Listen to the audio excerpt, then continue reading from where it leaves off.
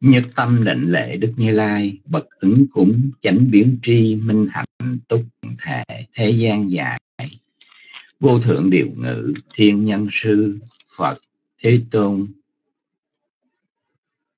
Nhất tâm lệnh lễ chánh pháp do phật thiện thuyết, thiết thực hiện tiền, vượt ngoài thời gian, đến để chứng nghiệm hiệu năng hướng thượng, trí giả thân chứng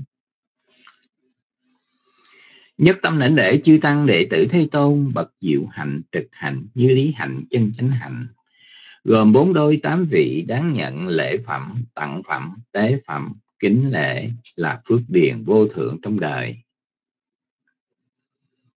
Nguyện cầu của đức phật bảo, nguyện cầu của đức pháp bảo, nguyện cầu của đức tăng bảo, xin tam bảo gia hộ, ngăn ngừa mọi tai ương những hiện tượng bất tường, những mộng mị sâu xa, những nghịch duyên trở ngại thải đều mau tan biến.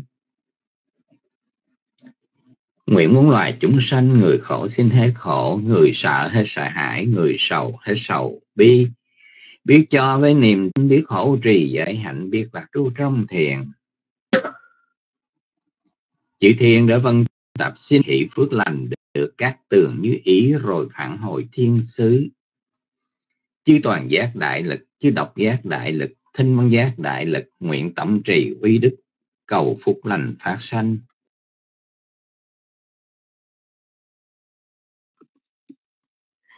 Chúng con kính tri ân Thượng tọa Minh Hạnh đã đọc kinh lễ bái Tam Bảo. Để tiếp tục chương trình, chúng con kính cung thỉnh Thượng tọa Từ Siêu giảng nhập bài pháp thoại ngày hôm nay. Chúng con kính cung kính thỉnh Ngài.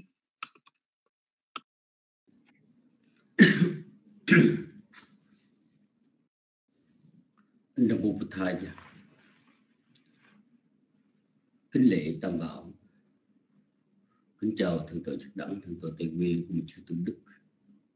Kính chào quý bà quý cô tu nữ và chư Phật tử.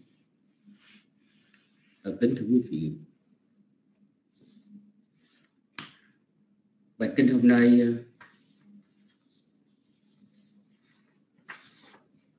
cũng không phải là khó khăn.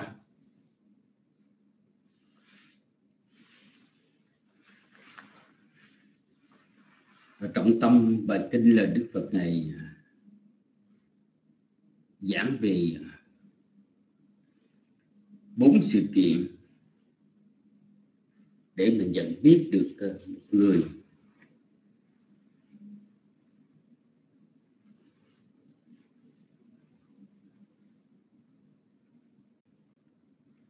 nhưng ở đây, trong bản dịch của chúng ta, có vấn đề, thưa quý vị, có vấn đề. Cái vấn đề này nó sai trầm trọng.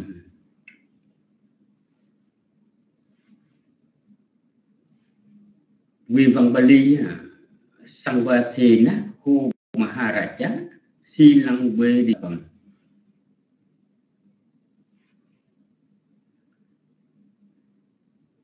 cần phải biết giới hạnh của một người bằng cái sự chung sống. Có chung sống thì mới biết được cái giới hạnh của một người, cái đức hạnh của người. Tay chật khô đi, đề na atuna na itarang và phải với thời gian này chứ không phải là thời gian ngắn. Mình phải chung sống thời gian dài với người đó mình mới biết manasikarota no anamasikarota tức là bằng cái sự tác ý, tức là bằng cái sự cân nhắc chứ không phải là không phải không cân nhắc. Mình sống chung với người đó mà mình không có cái sự suy xét về người đó thì làm sao mình biết cái giới của người đó được. Panyata nu được gì nữa sẽ sử dụng cách không sử dụng cách nó giống như chữ xăng qua xề ná gì đó. Tức là sống chung là một lẽ. Phải sống chung trong thời gian dài. Và trong thời gian dài đó, phải bằng cái sự ờ, chú ý.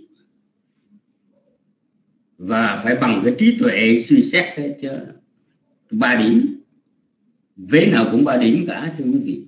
Chứ ở đây cái bản dịch là nói rằng là này đệ vương phải chung sống lâu với, mới biết được giới đức của một người. Không phải trong thời gian ngắn mà phải chung đụng dài hạn để biết rõ ai là người tỉnh giác hay thất niệm. Cái câu này sai này dịch sai nguyên văn quá trầm trọng.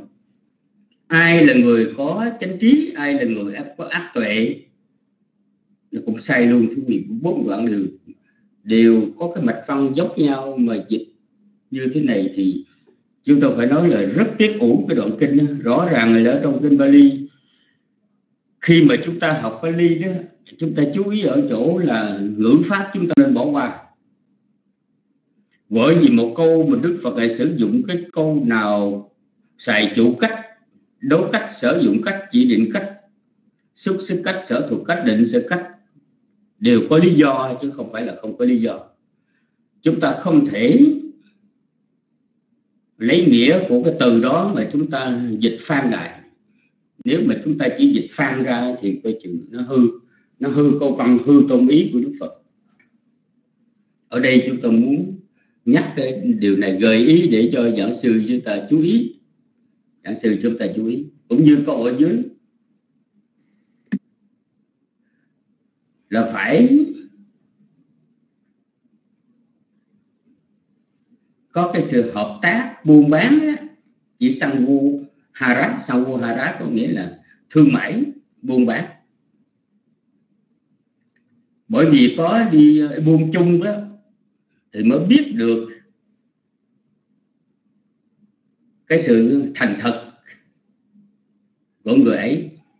Và phải trong thời gian dài chứ không phải ngắn với thời gian dài chứ không phải ngắn với sự suy nghĩ về họ chứ không phải không suy nghĩ.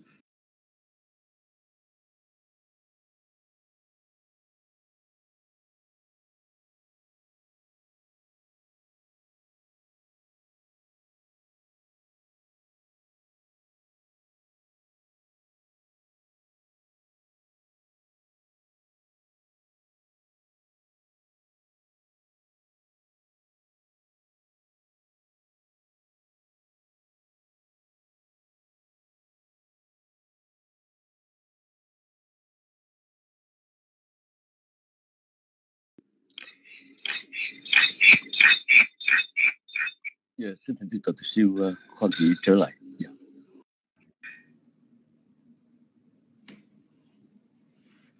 trong ngữ cảnh này có nghĩa là nước một vạn ngạn đó quý vị có nghe được chúng tôi nói không khi mà có hoạn nạn ồ sao vậy quý vị nghe rõ, nhưng mà nghe rõ ai nói? Xin hỏi quý vị nói nghe rõ nghe rõ thường và do đặng nói hay nghe rõ chúng tôi nói? Dạ như vậy. Giờ tốt. Chứ cả hai đều nói, đều lên tiếng mà quý vị nói gì vậy nghe rõ, chúng tôi không biết nghe rõ ai. Trong khi thượng tội cho đẳng thì cứ gọi chúng tôi nói vậy. Thì do đó cho nên ở đây thưa quý vị muốn biết giới hạnh của một người thì phải chung sống với họ. Phải với cái sự chung sống. Lâu dài có suy nghĩ và có trí tuệ mình mới xét đoán được cái, cái, cái đức hạnh của họ. Phải cùng với họ đi mua mới biết được cái sự chân thật hay xảo trá của một người và cũng với cái thời gian dài, không phải là ngắn, và phải bằng cái sự suy xét và có trí tuệ mới biết. Cùng gặp hoạn nạn là mới biết được cái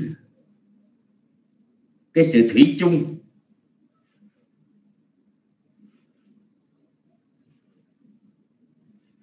Của một người hay là cái sự trung thành, cái sự trung kiên của một người, sự trung kiên của một người. Và phải gặp nhiều trường hợp hoạn nạn trong thời gian dài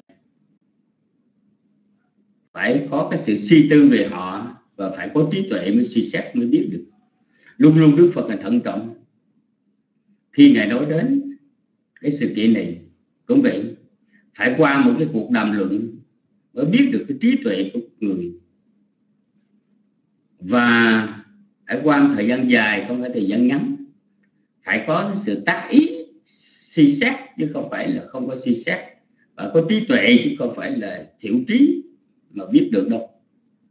Vì ở đây trong chú giải có đề cập đến cái chỗ này, tức là trong chú giải khi mà nói đến cái vấn đề này cũng rõ ràng lắm, thưa quý vị. Thì đó là những điều mà chúng tôi gợi ý ở đây ờ, bài học thì đã đăng rồi. Do đó cho nên quý vị cứ việc đọc đi. Nhưng mà xin thỉnh ờ, thượng tổ sư ờ, chỉ nắm cái điểm chính như chúng tôi đã nói, chứ đừng có y cứ vào ở trong cái mạch văn việt, ngữ, dịch. Mà chúng ta giảng thì sai đó.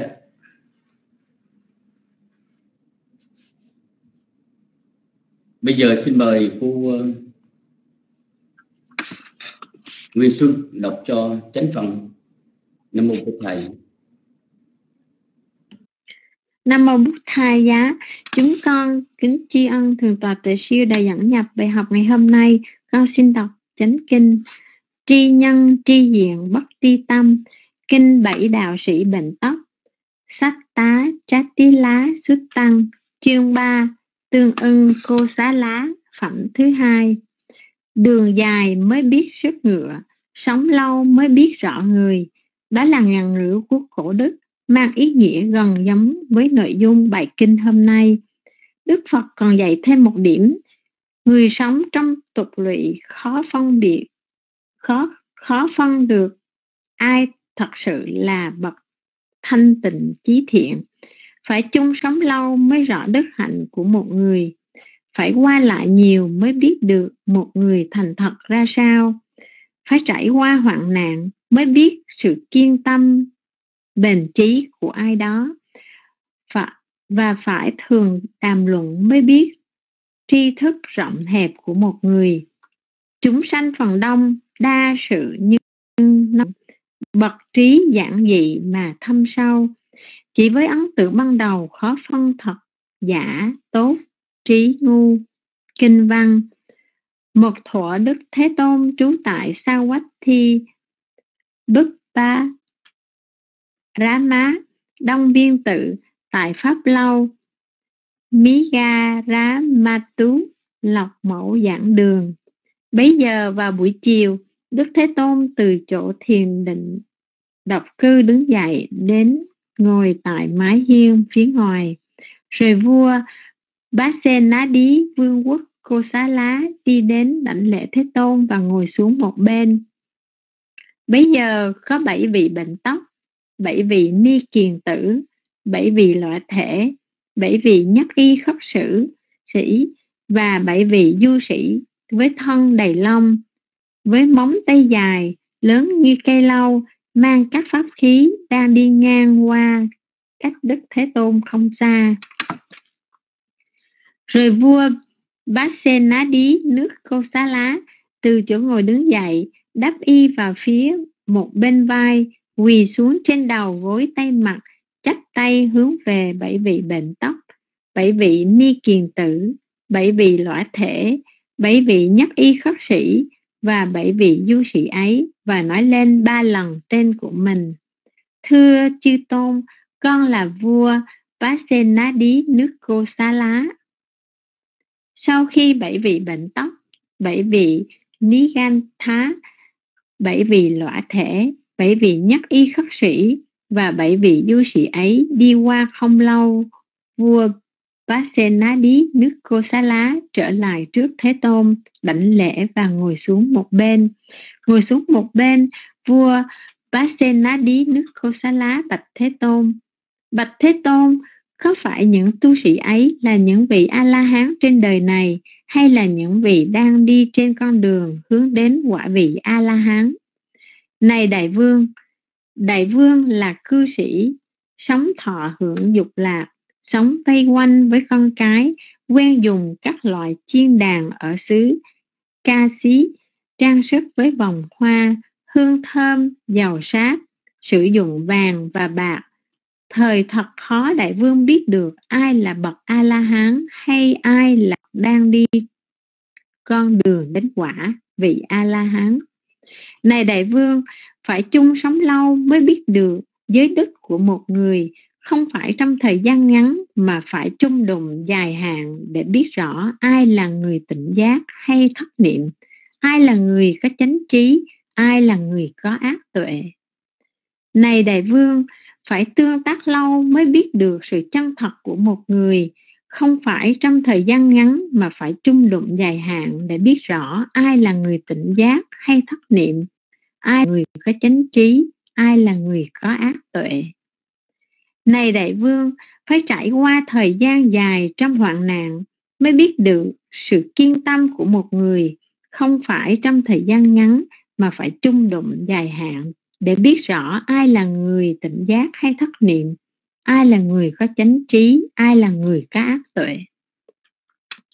Này đại vương, phải trải qua thời gian dài đàm luận mới biết được tri thức của một người không phải trong thời gian ngắn, mà phải chung đụng dài hạn để biết rõ ai là người tỉnh giác hay thất niệm, ai là người có chánh trí, ai là người có ác tuệ.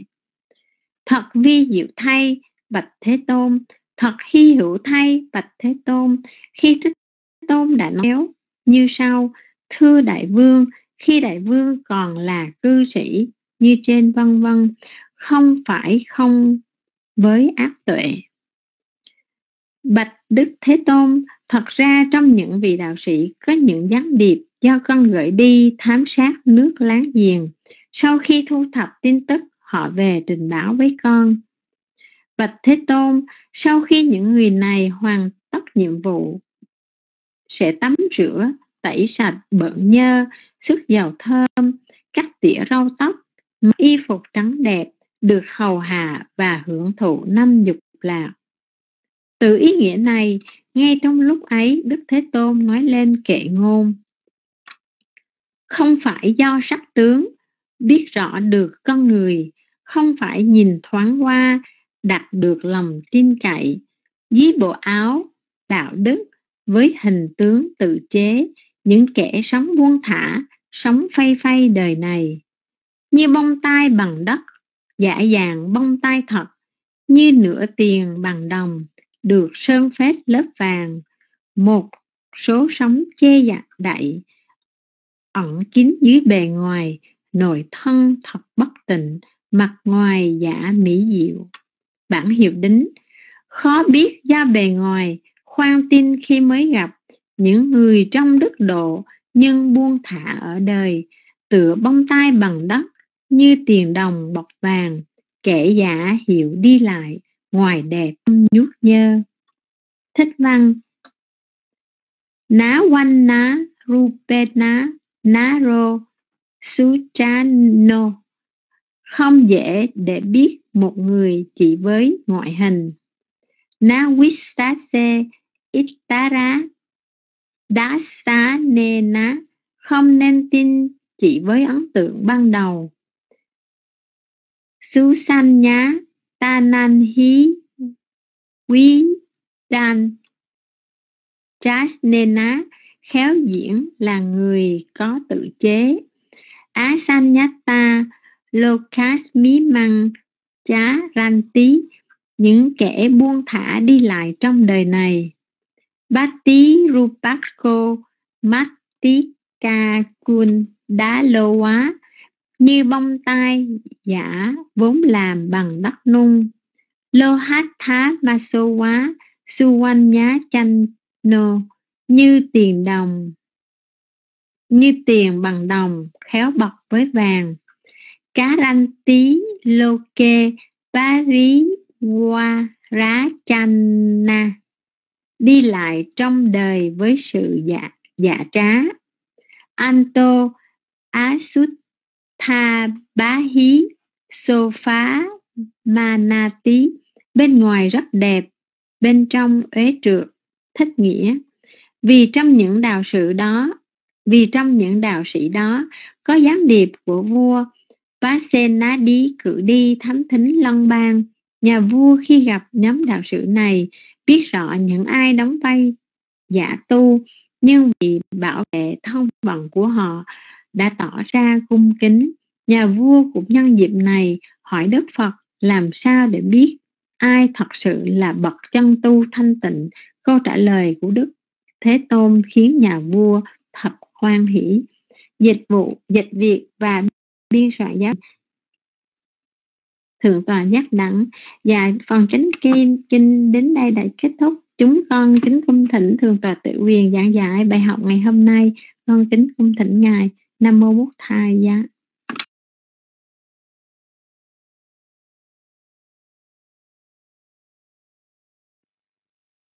nam mô bút thai giá nam mô tham ma giá nam mô sanh khai giá Chúng được nghe rõ. Dạ cảm ơn quý vị. Chúng con thành kính lên lễ đến đức phật, đến giáo pháp và chúng tăng kính lễ đến ờ, Ngài sư phụ tỳ siêu thượng tọa giác đẳng, thượng tọa ờ, minh Hạnh đại đức tự tri đại đức tự đức sư nguyên thông cũng sư tăng đang hiện diện chúng ta đến được cung chư phật tử và xin bắt đầu vào thời gian Araham Sama Sambuddha Phật Bút Thằng Phật vào Tăng Apiwa Đến Swaka Tô Phật ta Tham Mô Tham Mang Namasa Misupati Panno Phật Tà Sāvaka Sankhu Tham Khang ma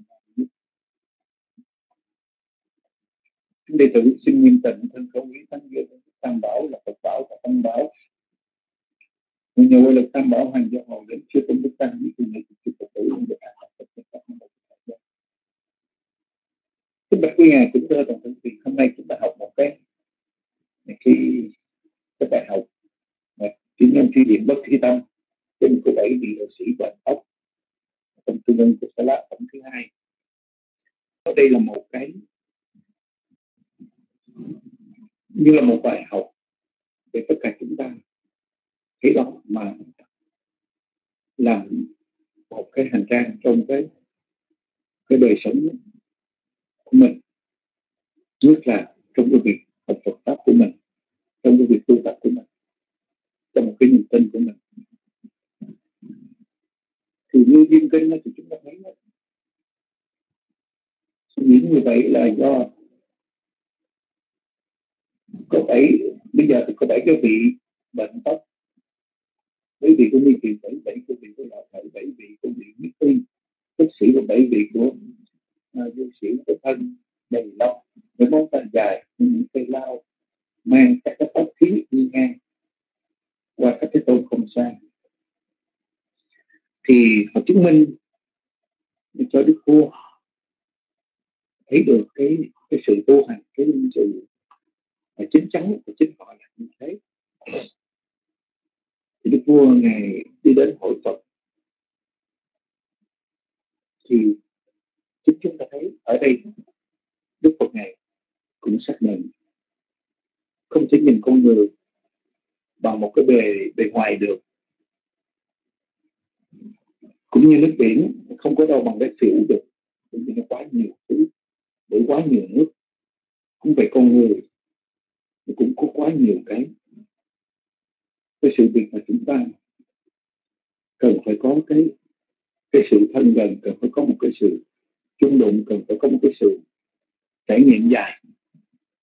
Thì chúng ta mới mới có thể thấy được.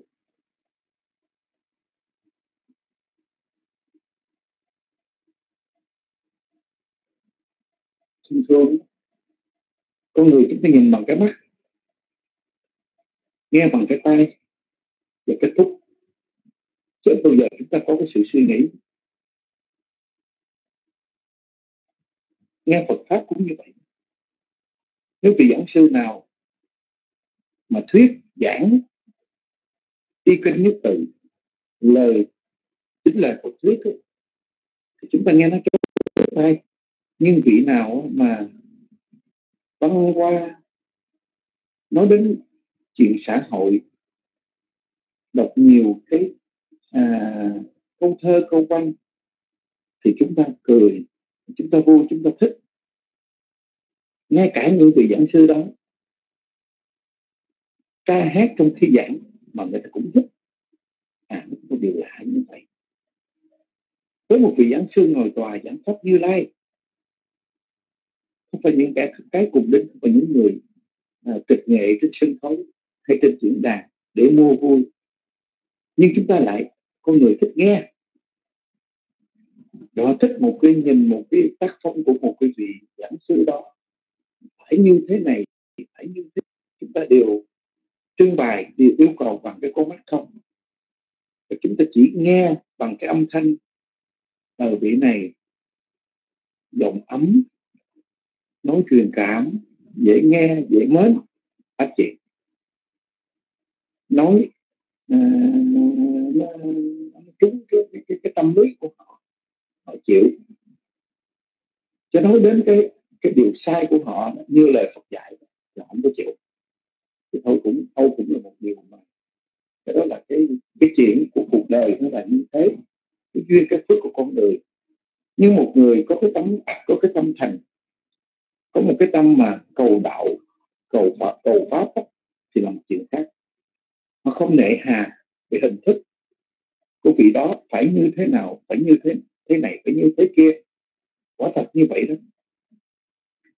Rồi không phải, thí dụ như cái tác phong của vị đó, cái hình thức của vị đó, nhiều khi thấy nó hơi, nó sốc quát, thấy nó hơi chỉnh mãn như điều mà nhiều khi do người ta có nhiều cái cái sự suy nghĩ người ta không không có trao chuốt về cái thân thể.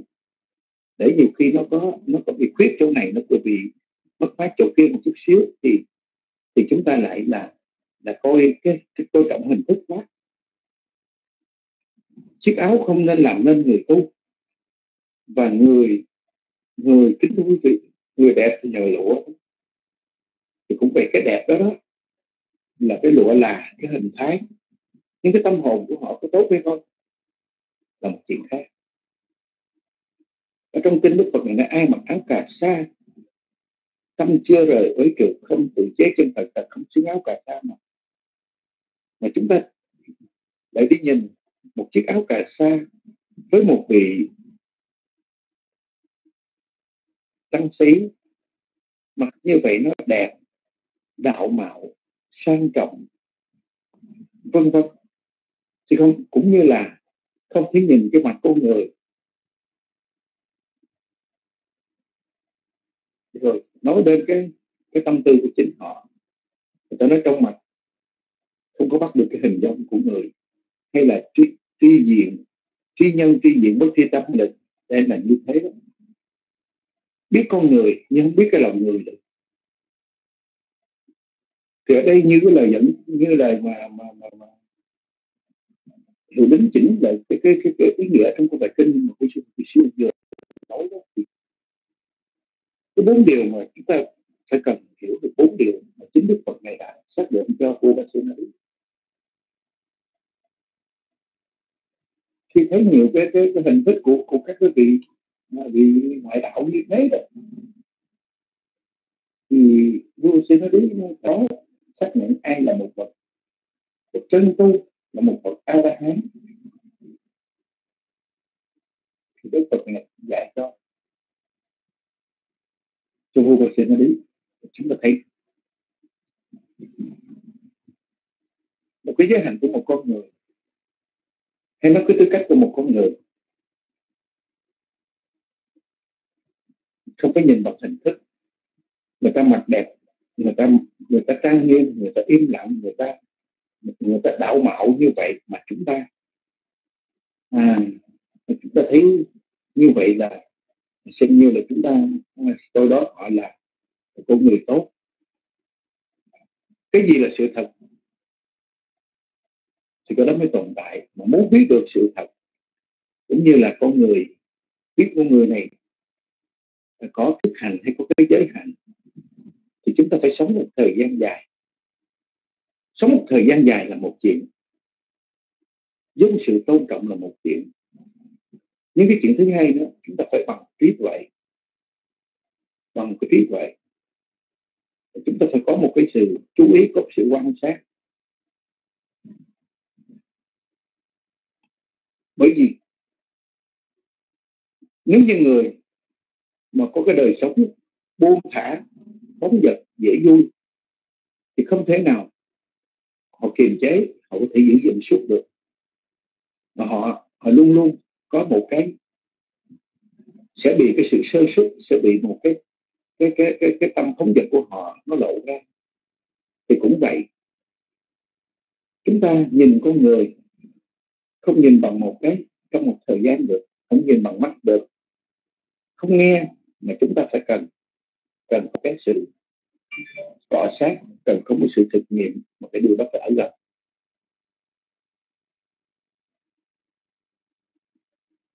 Vậy thì làm sao chúng ta ở gần? Kính thưa quý vị.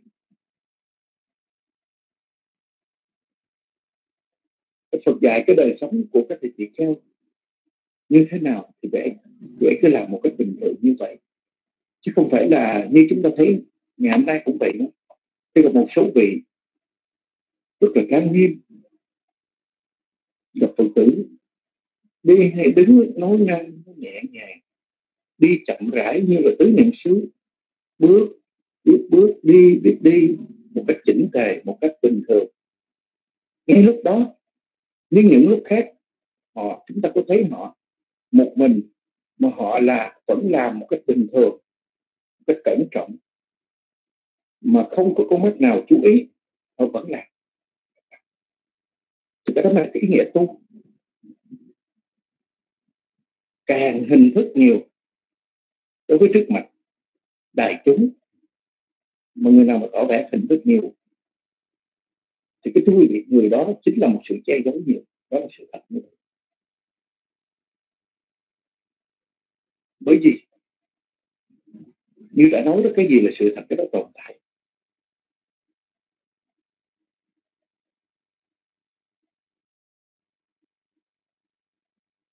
Cái việc tu hành không cần phải đòi hỏi chúng ta phải như thế nào cả. Mà ở trong mọi cái quay nghi mọi cái cái hoàn cảnh, người đệ tử phải biết phải biết cái cái sự điều tiết của mình. Đối với các bậc xuất gia thì đức phật ngày dạy những cái điều tâm niệm. Hình dáng tại đây khác hơn kẻ thế. Cho nên, nhiệm vụ nào của sa môn ta cũng phải làm thì cái tâm tư y hàng quan niệm như vậy. Sự nô màng của ta ở cái khác ấy như mấy các cô Karaniyo ta làm cho người có sự cúng dường có sự uh, cung phụng một cách uh, một uh, cái sự lễ bái một cách xứng đáng. Hay là vì ấy có cái tâm suy xét trong chính tự bản thân của mình. Và sống một thời gian dài thì chúng ta mới thấy được cái gì? À nhiều khi á, bình thường có chuyện gì? Nhưng khi những cái sự bất bình xảy ra thì chúng ta mới thấy được cái khả năng tu tập và khả năng buông bỏ của chính người đó.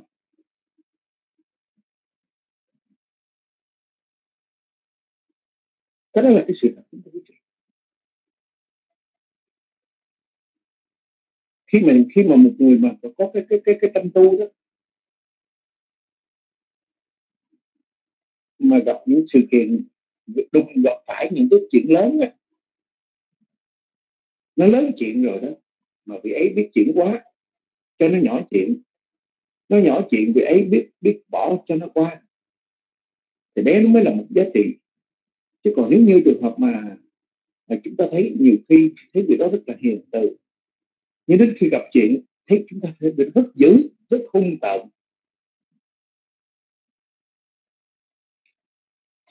Thì cũng coi chừng. Và nhiều khi có những con người chúng ta thấy họ hung tợn, họ khó chịu như vậy.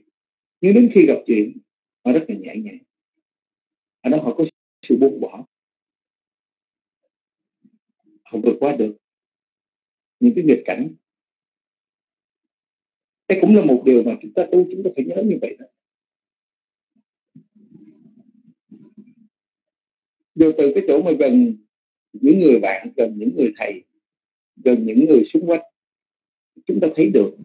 Để mà chúng ta chúng ta tự chúng ta vượt thoát chúng ta tiến tu với chính mình.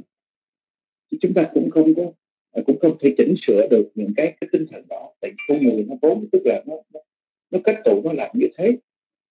Con người nó làm màu là cái cốt cốt màu hay là xấu dấu thì hay làm tốt mà dốt thì hay nói chữ. Xấu thì hay hay cái gì? Che cái cái cái cái cái cái cái, cái, cái xấu mà phơi bày cái, cái tốt ra. Cái tốt là nó tốt mà nó xấu là nó xấu mà chúng ta càng che giấu nhiều. Thì với những ai có nhìn về hình thái thì người ta thấy người ta thích chứ sự thật ra. Người có một cái tinh thần có tâm hồn có nội dung.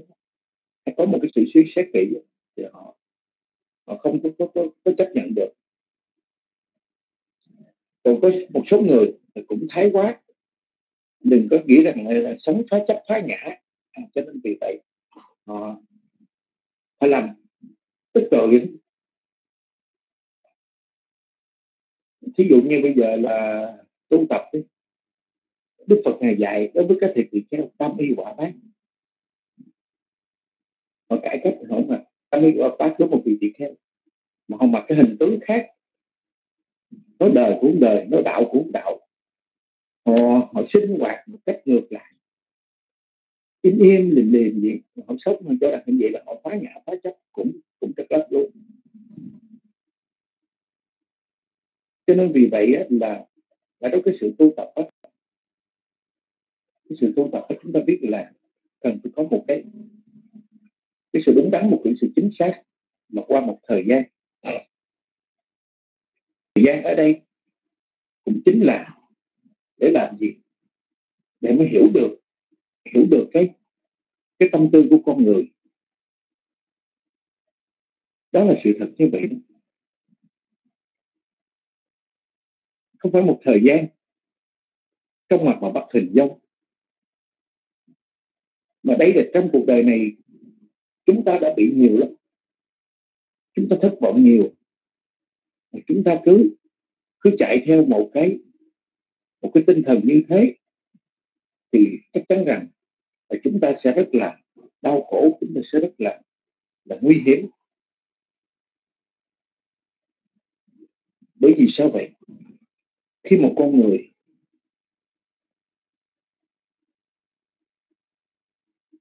chúng ta tôn sùng những người đó đưa lên tận mây xanh và rốt cuộc rồi chúng ta thất vọng, rồi chúng ta chúng ta đạp xuống thì cũng là sai lầm. Bởi vì ở đây thành thật ra mà nói thì biết được cái người đó đó mà bằng một cái sự suy xét, bằng một cái trí tuệ. Cái trí tuệ như thế nào? À cái trí tuệ, cái chỗ này nó rất là quan trọng, cái sự cân nhắc.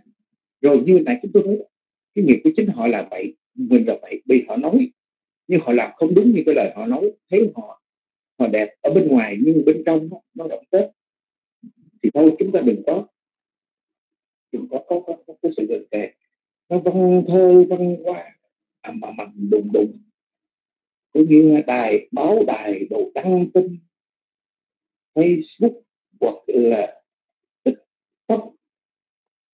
Tự như hoặc là được nhiều like câu view. Mà chúng ta sợ hãi đấy.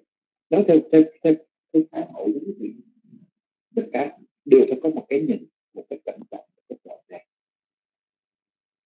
Họ kêu mình làm thiện, nhưng không có làm thiện không họ kêu mình bố thí, nhưng thì thật họ có xả thí không?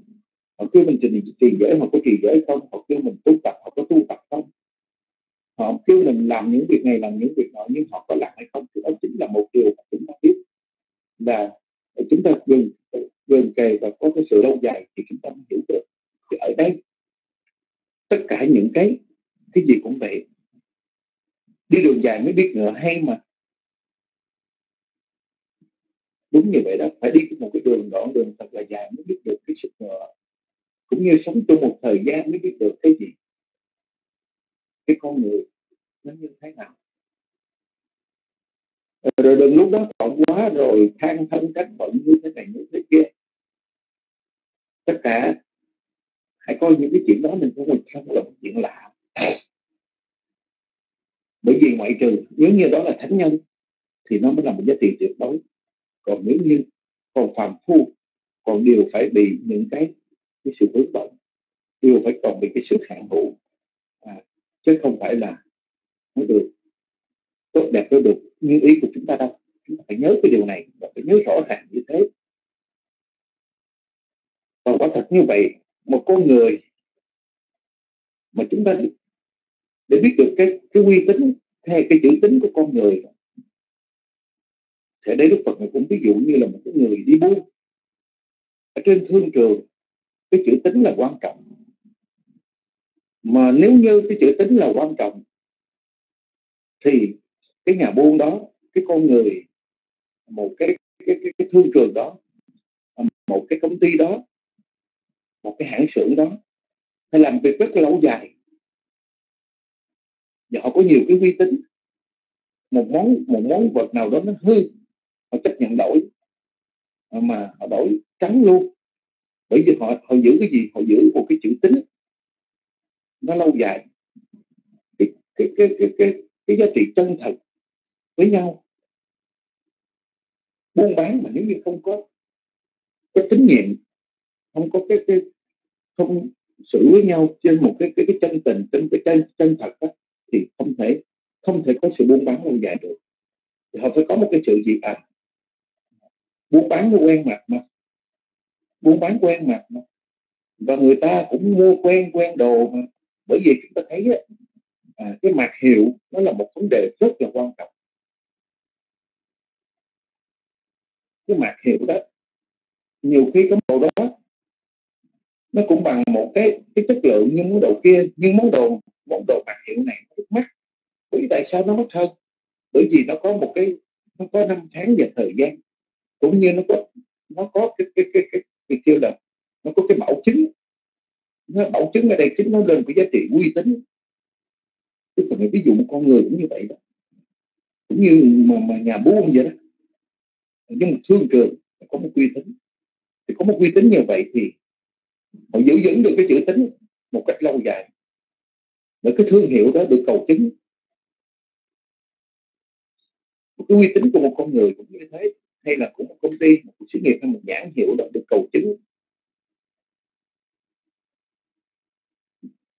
Nhất là hiện nay, xã hội hiện nay, chúng ta gọi là đồ hiệu. Đồ hiệu với cái hàng nhái nó khác xa về chất lượng. Nhưng về hình về hình thức ấy, thì nó giống nhau. Chúng ta thấy cái hàng China sản xuất copy là y như hàng hiệu như vậy. Nhưng chúng ta xài thời gian nó hư nó mau hư hoặc là nó nó mau hoại nó, nó mau bị hủy đi thì chúng ta biết là hàng giả. Hay là xài vào nó không đúng cái chất lượng quả thật Phật ngài đã ví dụ một điều này cho cái giá trị của con người nó cũng như thế thật giả là chúng ta biết. Khi chúng ta xài vào chúng ta mới biết. Chứ sự thật ra cũng như là à, bởi vì nếu như một cái hàng thật thì nó đắt chúng ta đã đắt quá chúng ta không xài chúng ta xài hàng giả thì chính vì cái hàng giả đó chính chúng ta phải, phải bị một cái sự thất vọng của chính nó mua nhiều cái đồ hàng giả. Thôi, tại tại sao mua một cái đồ hàng hiệu ba, bốn món hàng giả? Thà là mua một cái món hàng thật, hàng tốt và chúng ta sẽ nó bền nó bền và nó tốt. Cũng như ý mình. Còn cái hàng giả nó sẽ bữa nó nó hư. Cái máy móc của chúng ta cũng vậy. Cũng là cái hàng mà nó nó không thật. Bởi vì sao? Cái hàng này là hàng giả. Nó không có cái, không có chữ tính. Không có uy tín và không có chữ tính cái nhãn hiệu không có được cầu chứng nó không có được cái công nhận. Nó không được cái sự bảo pháp được bảo vệ. Đức Phật Ngài đưa ra một cái hình thái này để nói ra cho tâm tư của một con người cái sự thật giả. Nó cần phải kỹ tính vô cùng với người mụ vô mạng, cũng như cuộc sống của một cái người tu tập cũng vậy. Phải đi đường dài. Phải tu tập lâu dài. Rồi chúng ta mới mới cẩn thận bằng trí tuệ, bằng một sự suy xét với cái với cái với cái sự sáng suốt và chúng ta mới nhận định được. Thì cũng như thế, một con, nếu chúng ta tất cả đang vui cười, cuộc sống bình yên thì không có gì. Nhưng điều khi hoạn nạn, nó biết được đó là những người những người bạn thủ chí cốt, là những người tốt với nhau. Có giá trị chung chung thiện chân tình hay có sự chí cốt, trung thành với nhau được. Mà cùng hoạn nạn mới biết được. Chứ còn khi mà vui thì nó là chuyện khác rồi. Đầu đổ sang đổ vỡ nó là như thế. Nhưng cùng hoạn nạn biết được. Đâu là cái người tốt với mình.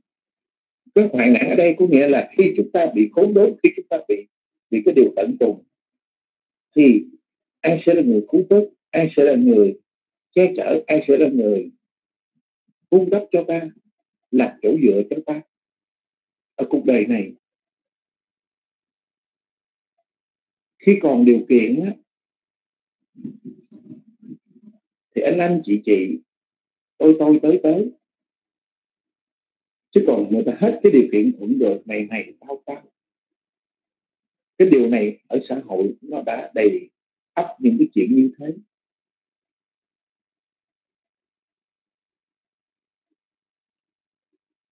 Ngay cả là quyến thuộc với nhau cũng, cũng không có không, không có tôn trọng nhau cùng hoạn nạn chưa biết là quyến thuộc có giúp đỡ nhau không. Tuy quyến thuộc là bốn mát nhưng có có những có những cái lúc chúng ta nhờ được nhưng có những lúc chúng ta cũng không nhờ được. Cái giá trị sự thật như vậy đó bởi vì cùng hoạn nạn mới biết được đây là người bạn chân tình. Đây là người chồng đây là người vợ đây là người bạn. Đây là một cái người làm có những hàng xóm tốt hữu sự có nhau.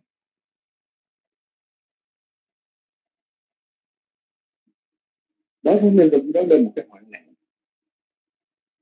Mà cần có cái, cái sự tự nương nó là như thế. Họ biết bảo vệ họ biết cùng giúp đỡ cho chúng ta. Chúng ta vượt qua.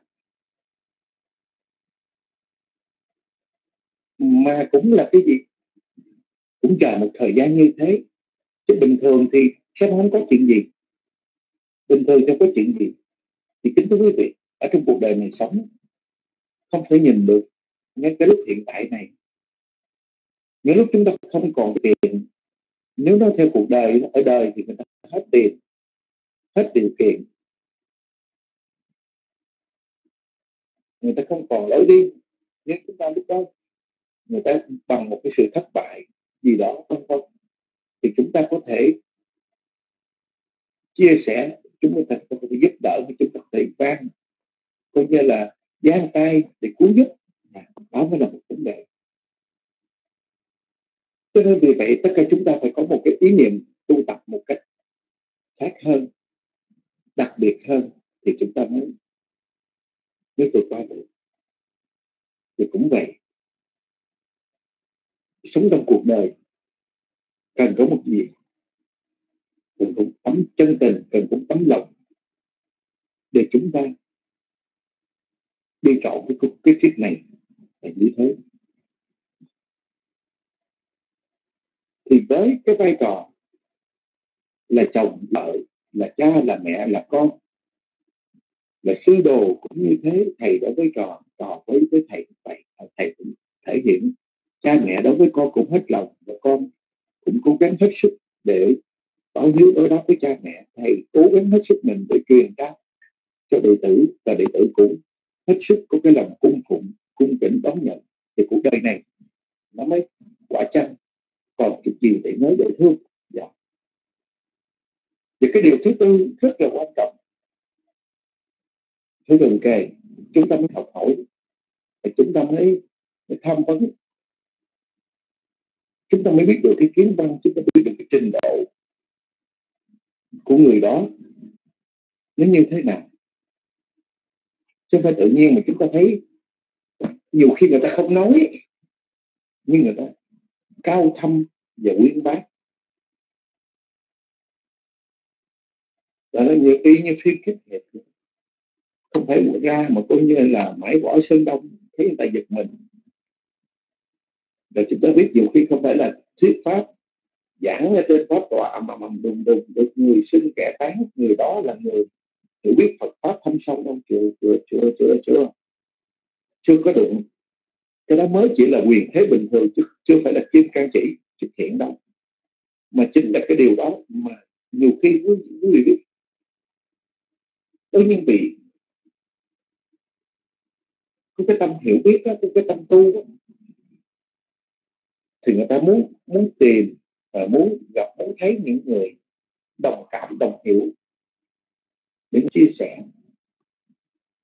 Như cái lời dẫn đó, chúng ta thấy thì họ nói rất chính xác.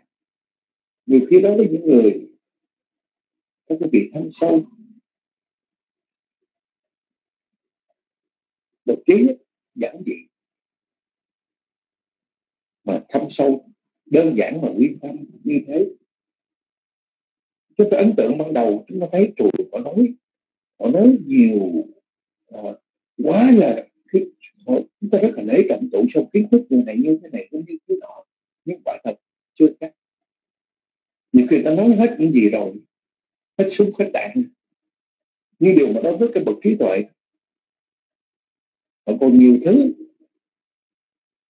Có nhiều thứ có nhiều pháp có nhiều cái kinh nghiệm có nhiều cái sự thực chứng có nhiều cái cái cái cái cái cái, cái điều mà đã thực nghiệm tự thân. Hay là có cái tư duy có cái thực nghiệm pháp mà nói cho mình nghe. Chỉ đơn giản vài lời. Nhưng điều nếu suy xét kỹ thì nó chứa đựng và hàm tán rất là nhiều điều mà phải nói đặc biệt để chúng ta sống ở trong cuộc đời này. Chứ bây giờ chúng ta biết cuộc sống ngày hôm nay, chúng ta biết là chúng ta gọi là và thao lẫn lộn như đức phật này nói đó. Khó biết do bề ngoài quan tinh khi mới gặp những người trong đức độ nhưng buông thả ở đời. Cho nên tựa bông tay bằng đất cho bông ta bằng đất là nó nó bằng đất mà cho nên nó dễ vỡ và nó dễ rã hay như như là tiền đồng bọc vàng. À, chúng ta biết cái hàng mã đó nó si si bọc vàng như vậy thấy một đẹp như vậy. Nhưng điều toàn là hàng giả không? Bây giờ chúng ta thấy đeo đeo cả cả đống vàng như vậy kim cương như vậy toàn là bạc giả như hồi xưa ở Việt Nam có tình trạng đó chuyên môn xài vàng không xe cũng vàng nón cũng vàng cái gì cái gì cũng vàng hết trơn. Cho đến khi sao phát hiện phát hiện ra ở trong ở, ở trong cái cái cái quán tiệm của thành toàn là màu vàng màu vàng cái si giống như vàng 24 vậy đó. Bốn số chín như đó. Nó đẹp như vậy đó. Nhưng sự thật ra là đồ giả không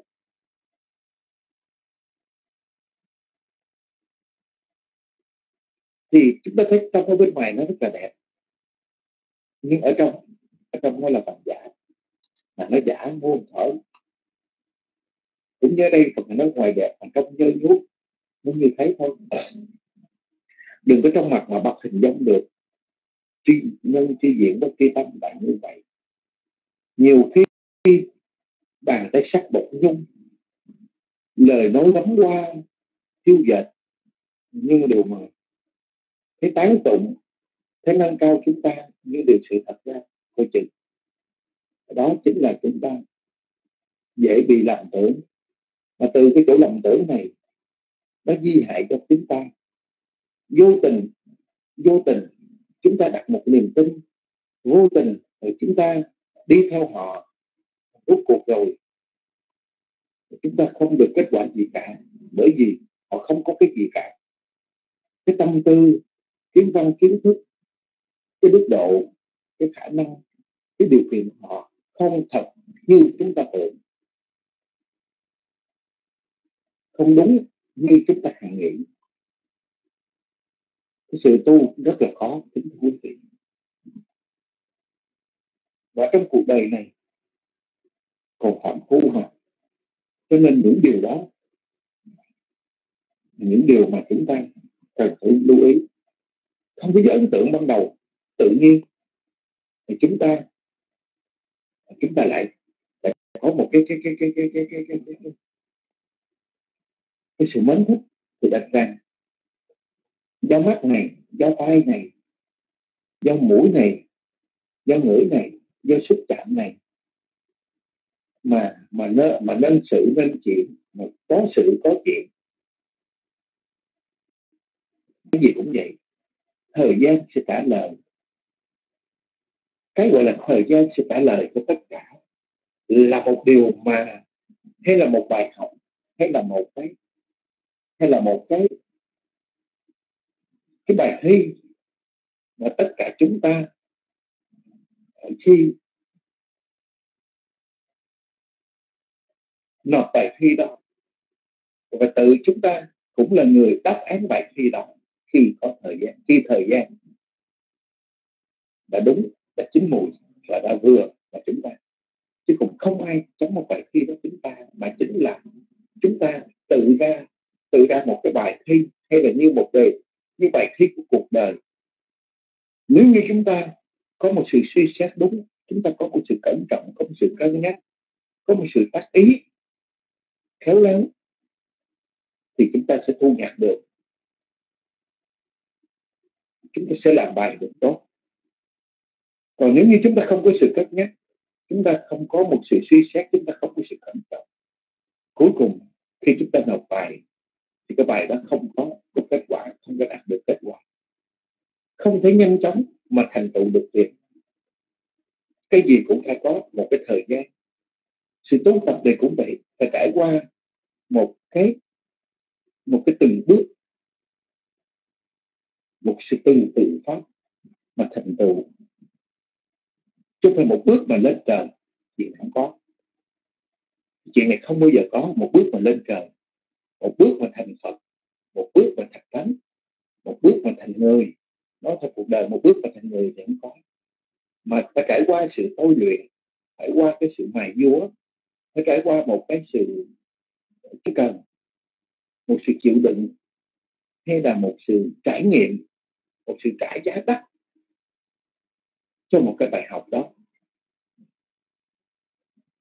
Mà chúng ta biết như là một bài học ngàn vàng, đó là như vậy. Một ngàn vàng là chính là là phải có thời gian thì chúng ta mới mới lấy được, mới cảm thụ được, mới nhận được một cái bài học đắt giá như là ngàn vàng. Và chúng ta đã, đang và được mua là như thế. Cái sự tu tập cũng phải từng bước từng bước tích tụ, từng bước từng bước. Cần phải có một cái sự cái sự gì? Sự khéo bảo trì, sự khéo gìn giữ với tam nghiệp này, giới luật này. Cũng như sự khéo điều tiết để giữ giá trị một cái ý chí, một cái nguyện vọng. Và tâm của chúng ta phải có một cái cái sự buông bỏ phải có một sự cảm hiểu cho tất cả cuộc đời. Và cuối cùng chúng ta phải cần cần có một tri kiến cần có một sự hiểu biết một cái cận kề. Khi thân gần học hỏi với các bậc trí tuệ thì điều đó chúng ta sẽ được an lạc ở hôm nay cũng ở ngày sau. Và cái tập thứ ngày chúng tôi quý vị à, chúng tôi đều trình bày qua cái ý nghĩa và dinh sự của kinh. Để được sự bệnh tật hôm nay hay là cái kinh thiên nhân suy diễn bất kỳ tâm ở kinh bộ kinh này cũng như vậy à, tôi chưa lại cái thời gian để chưa có được tăng thứ này, sẽ thảo luận để cho là hôm năng đủ nhiều cái à, cái ý nghĩa thâm sâu và tốt đẹp hơn nữa để tất cả chúng ta làm bài học cho cuộc đời tu tập của chính mình cho cuộc sống ở trong cuộc đời này để tính gắn nhất cần thời chúng ta đây trước khi chúng ta tính chúng ta có thể có thể làm thiên vương các vị chư thần chư thiên và đóng nghiêm cũng như tất cả chúng sinh tại hai nơi, cũng như tất cả những vị mong, tất cả được hàng ngày của tất cả trong Phật pháp nam mô hai giá nam mô.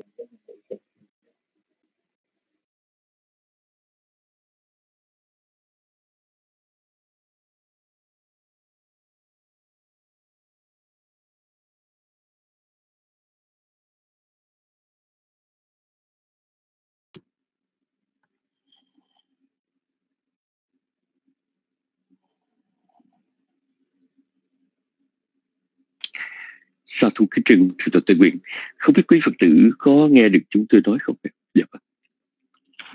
thưa quý vị uh, uh, trong cái phần dẫn nhập quý vị có nghe thượng tọa tuệ siêu đề cập đến cái uh, cái sai sót ở trong cái bản dịch uh, một sự sai sót và theo thượng tọa tuệ siêu sai sót rất là lớn.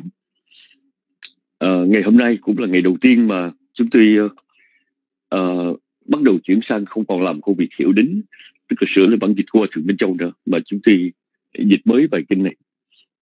Và vì khi chúng tôi dịch mới đó thì chúng tôi lại gặp một cái chuyện mà uh, nó đã tạo ra cái cái sự sai sót ở trong cái bản dịch này. Thứ vị khi mà chúng tôi còn nhỏ đó chúng tôi học ở chúng tôi đã đọc qua cái bản dịch này đó thì uh, chúng tôi uh, có một cái hiểu nó hơi khác với khi chúng tôi dịch bản dịch tối hôm qua. Thật sự mà nói thì hôm qua chúng tôi cũng bực. Nhưng mà uh, chúng tôi nói với việc uh, nghe điểm này thành ra quý vị mới thấy được. Uh, chúng tôi hồi nhỏ khi chúng tôi đọc qua cái bản dịch của thượng minh châu á thì chúng tôi nghĩ rằng vua uh, ba đó vua ba tư nặc là cái vị vua có cái tâm thành kính với đức phật. Nhưng mà lại là một người ba phải là một người không có cái chánh kiến rõ ràng không chánh tính rõ ràng. Tại vì sao? Vậy nhà vua đến đảnh lễ đức phật. Rồi thấy các vị đạo sĩ đi ngang nhà vua đến quỳ xuống đảnh lễ. Và nói với các vị đạo sĩ là thưa chư tôn giả con là Bồ Tát sinh đã đi đến khô xóa thì thưa quý vị sau cái khi vua trong chuyện kể là sau khi vua ba đi đến đảnh lễ uh, đến đảnh lễ uh, các vị đạo sĩ ngoại đạo đó mới quay trở lại mới hỏi đức phật. Mà thế thế tôn uh, làm sao để biết một người nào là a la hán và một người nào đang trên đường dẫn đến đạo quả a la hán thì thưa quý vị đọc câu chuyện đó đó cái ấn tượng đầu tiên mà chúng tôi hiểu về kinh mà đây là cái hiểu sai của chúng tôi từ nhỏ cho đến lớn thưa quý vị là chúng tôi nghĩ rằng vua ba tư nặc là người ba phải. Và quý vị đọc đoạn kinh sau trong cái bản dịch của hòa thượng minh châu đó và đây là điều mà khiến cho chúng tôi phải ra trong bản chữ hán và bản chữ anh. Nhưng mà vì vậy chúng tôi bị sai cái này. À, quý vị chờ chúng tôi một chút nha. Chúng tôi lấy cái bản ra. Dạ. Đây là cái bản uh, ờ, cái bản tiếng bản tiếng việt mà của hòa thượng minh châu dịch.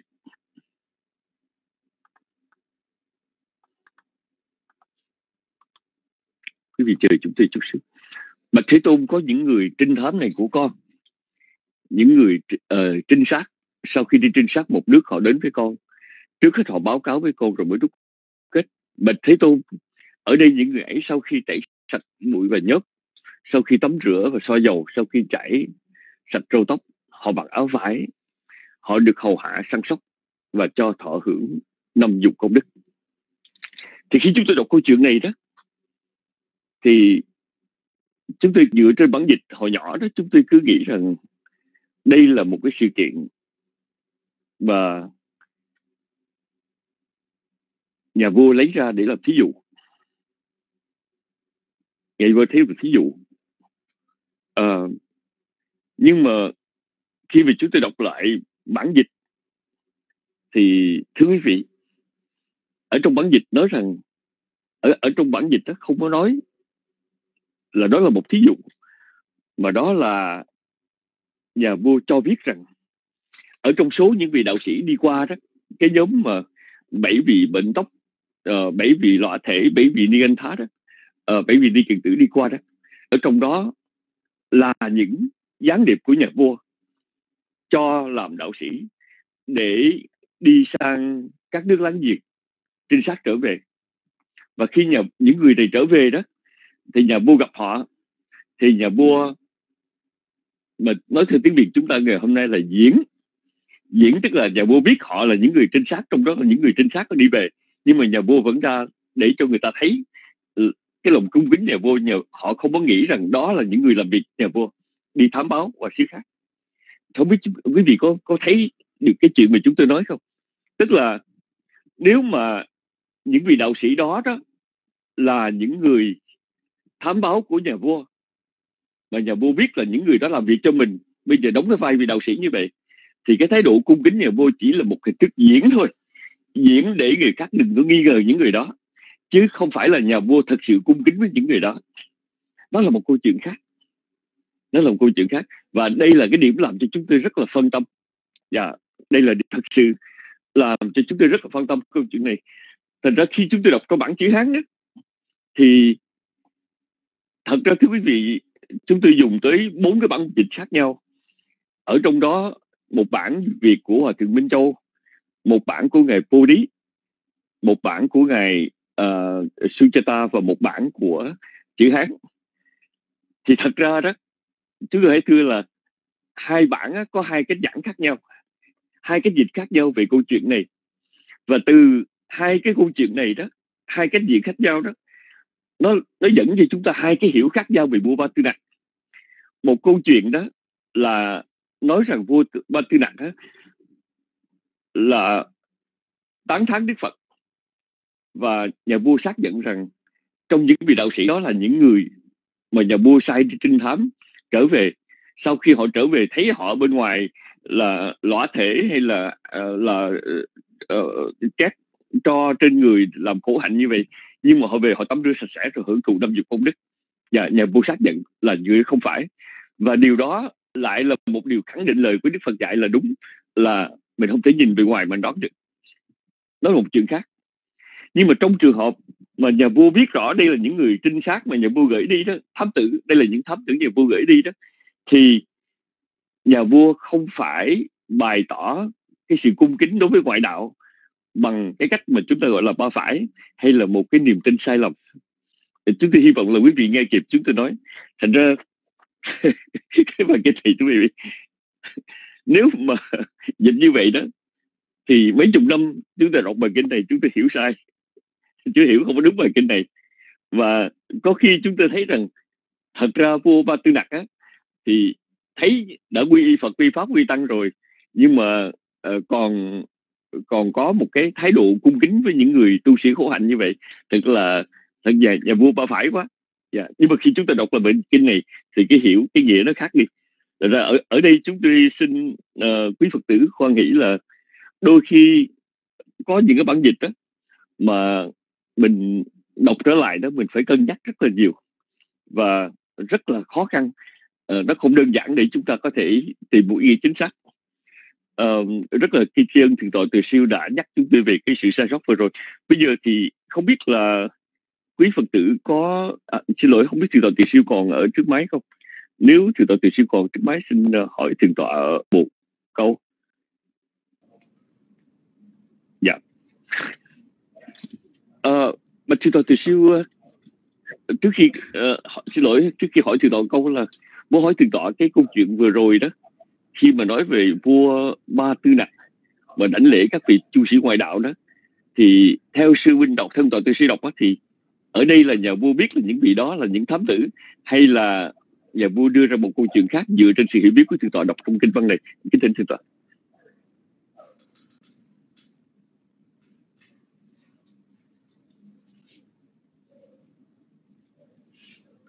Namo Buddhaya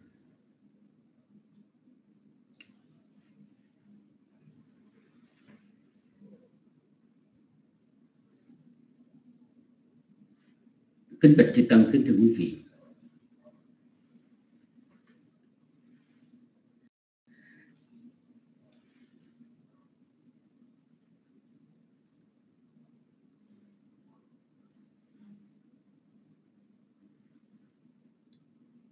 Thực ra khi mà đọc về những cái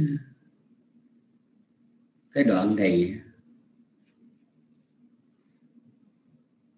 chúng tôi không có mấy gì quan tâm đến?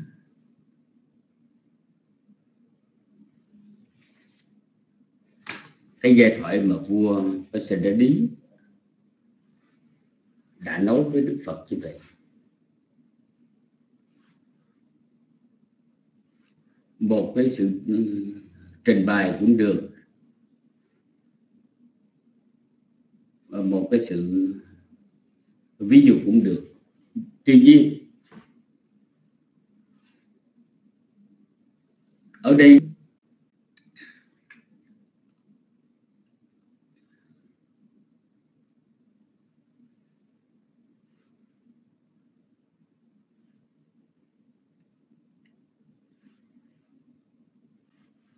Khi mà được nghe Đức Thế Tôn ngài nói lên bốn cái sự kiện,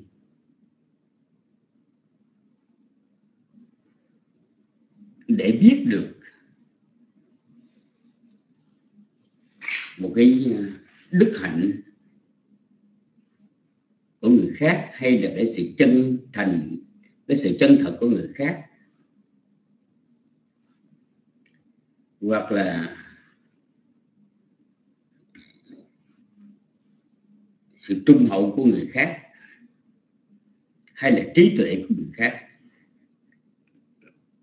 Khi được nghe Đức Phật trình bày như vậy đó thì vua mới xin đến được mới tán thán Đức Phật. Thật vi dụ thai mà Đức Thế Tôn, thật hy hữu thai và Thế Tôn. Khi Đức Thế Tôn đã à, khéo thuyết như sau. Rồi ông thuật lại cái chỗ đó. Sau khi đã tán thán Đức Phật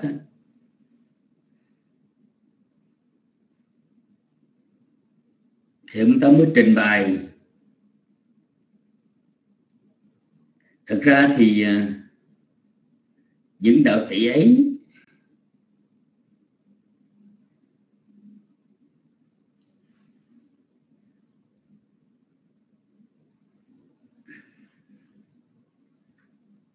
là người Brahmapurishachara Ocharaka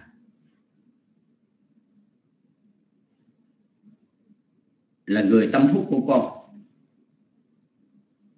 Ete Purisa Ete Phante Phante là bậc ngài và Đức Thế Tôn.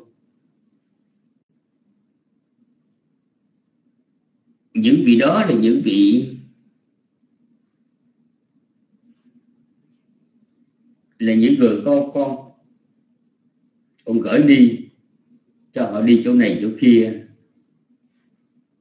đi thám sát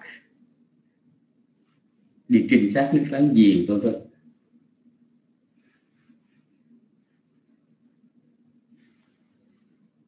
thì lúc đó, đó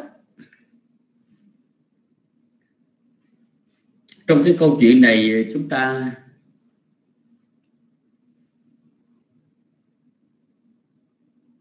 mỗi người sẽ hiểu một cách. Nhưng mà riêng chúng tôi thì chúng tôi hiểu rằng là khi mà đức vua Bá Sinh đi đến đỉnh lễ Đức Phật, hầu chuyện với Đức Phật, và thấy có những vị đạo sĩ đó, những vị du sĩ đó, những vị tốt bệnh đó đi ngang qua, thì giống như là ngài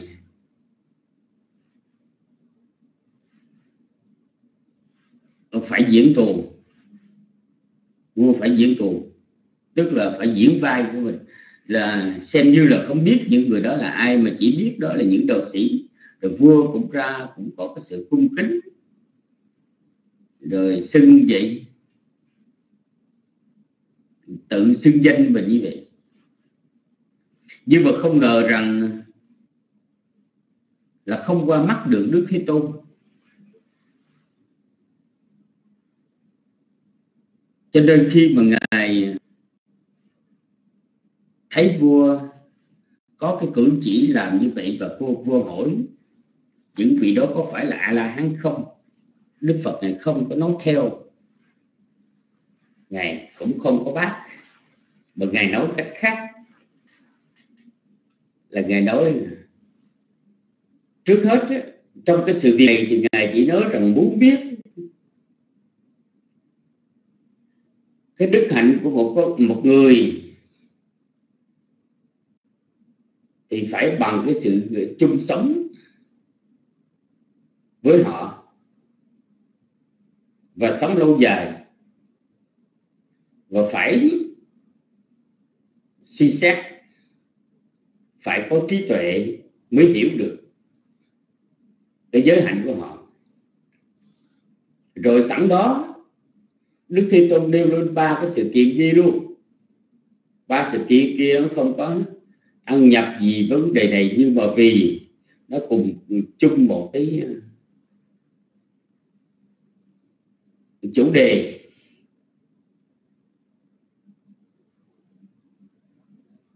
Cho nên đức phật nói luôn, cũng như muốn biết cái sự chân thật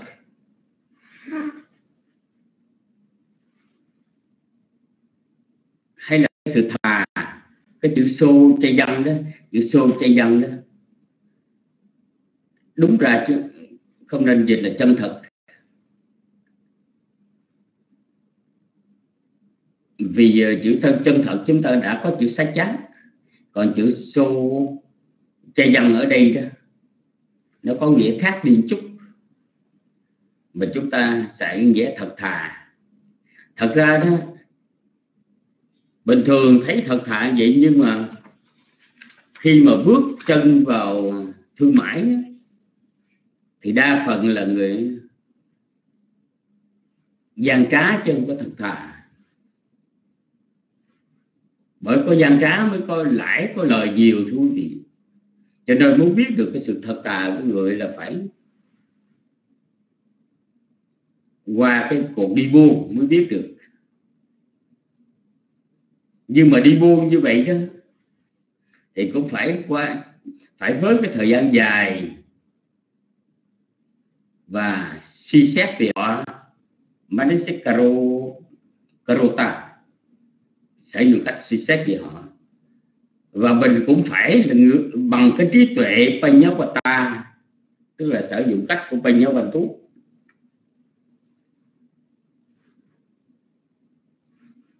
thì mình mới biết được cái tánh thật thà của họ. Rồi, cái đó là Đức Phật ngài nói luôn về cái cái sự trung kiên của một người ngu. Ở đây chữ tham mô veditapo xài chủ cách hết. Chúng ta nhớ cái chỗ này, xài chủ cách hết. Cũng như chúng tôi đã nói, là ngữ cách được Đức Phật này sử dụng ở trong cái mạch văn đó ngữ cách như là chủ cách đối cách sử dụng cách vân vân thì chúng ta khi mà dịch kinh là chúng ta phải chú ý chỗ đó nhiều bởi vì hễ mà chúng ta bỏ qua cái ngữ cách đó, ở trong à, cái văn phạm thì nhiều khi chúng nó nó sai. Nữa là ở trong cái sự hoạn nạn trong cái sự hoạn nạn thì mới biết được cái sự trung kiên của của một người. Thí dụ bây giờ thế này thường thường đó, khi mà vô sự, vui vẻ, nhậu nhẹt, ăn tiệc tùng thì bạn bè nó kéo nhau một đống vậy đó. Nhưng mà đến chừng lúc mà mình hoạn nạn đó, thì bạn bè ai mấy người xấu ai cũng tránh hết, họ không, họ họ không dám xuất hiện. Như vậy rõ ràng mình cần phải suy xét bằng cái trí tuệ mình biết biết được họ là người, không phải là người bạn trung kiên. Mà một người bạn trung kiên tức là sống chết có nhau. Lúc vô sự cũng vậy mà lúc hữu sự cũng vậy. Lúc bình yên cũng vậy mà lúc hoạn hoạn nạn cũng vậy, không bỏ nhau, thì cái đó mới là trung kiên rồi sẵn đó Đức Phật nói luôn về cái trí tuệ của một người mình cần phải biết được bằng cái ờ, qua cái cuộc đàm đàm luận Sakacha Sakacha đó, bằng cái sự đàm luận. Nhưng mà không phải đàm luận suông được. Mình phải đàm luận với họ trong thời gian dài. Mình phải có cái sự ờ, suy xét về cái lời nói cái ý nghĩa của họ trình bày và phải bằng cái trí tuệ mình phải phán đoán được. Chứ còn nếu mà đàm luận mà mình ờ, thiểu trí hơn người kia, thì mình cũng không có thể phán đoán được cái trí tuệ người đó cỡ bậc nào. Cho nên ở đây ba cái điều sau đó là đức phật này sẵn dịp với ngày trình luôn cả bốn pháp. Nhưng mà trước khi ờ, trước hết là ngài trả lời cho đức vua về cái vấn đề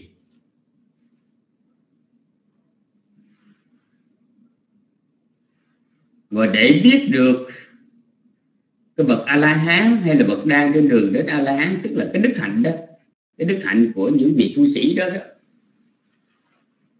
thì phải bằng cách chung sống trong thời gian dài có cái sự thân cận nhiều.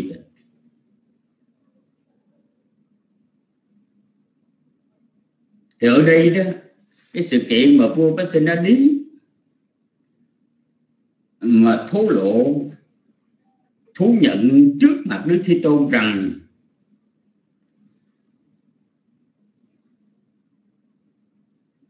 Đức Thế Tôn đã trình bày như vậy thật là vi diệu, thật là hy hữu bởi vì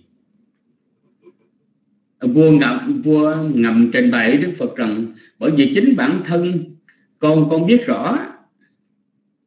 Những vị đạo sĩ thấy hình thức như vậy đó, ở ngoài đâu có ai biết.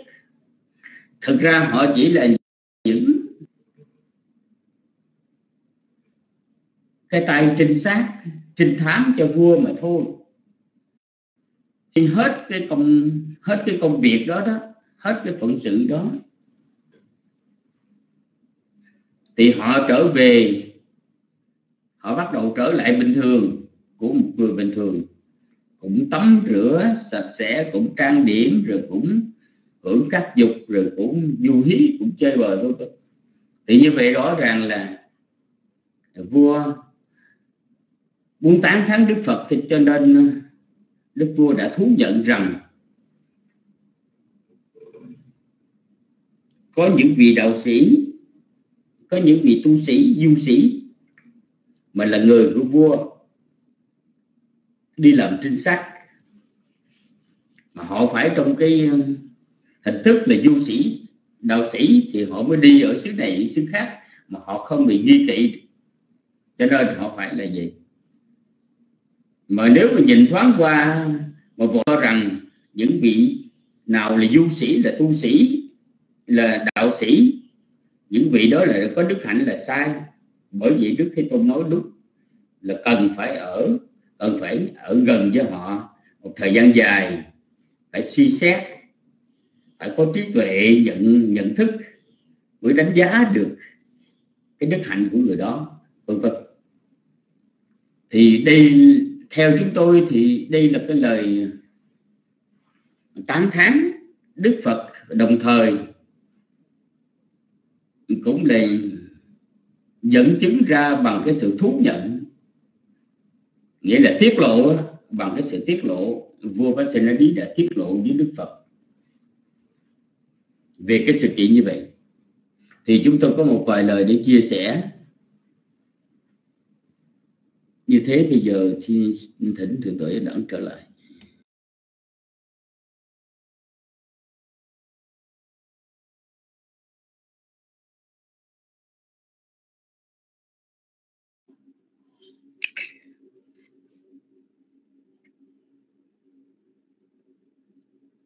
Sa thú cái thượng tọa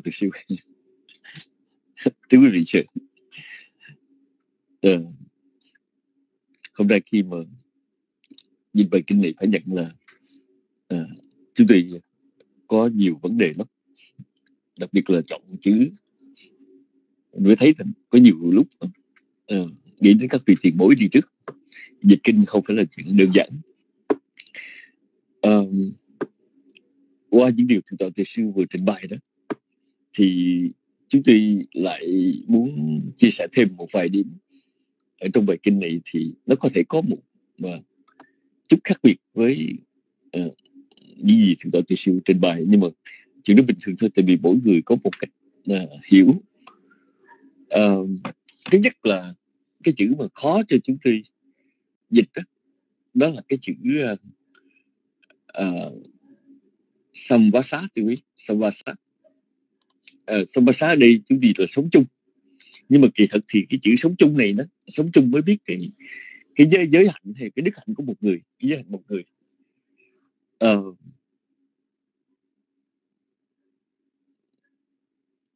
cái này đó là là nó cái chữ sống chung phải là ở chung nhà hay là ở chung làng ở chung sống là sống chung ở chung thời mới mà cái chữ uh, xá ở đây nó giống như người ta nói là có ở trong chăn mới biết chăn có rận yeah, dạ, ở trên chăn mới biết chăn có rận tức là phải có sống gần sống một cách uh, thiết.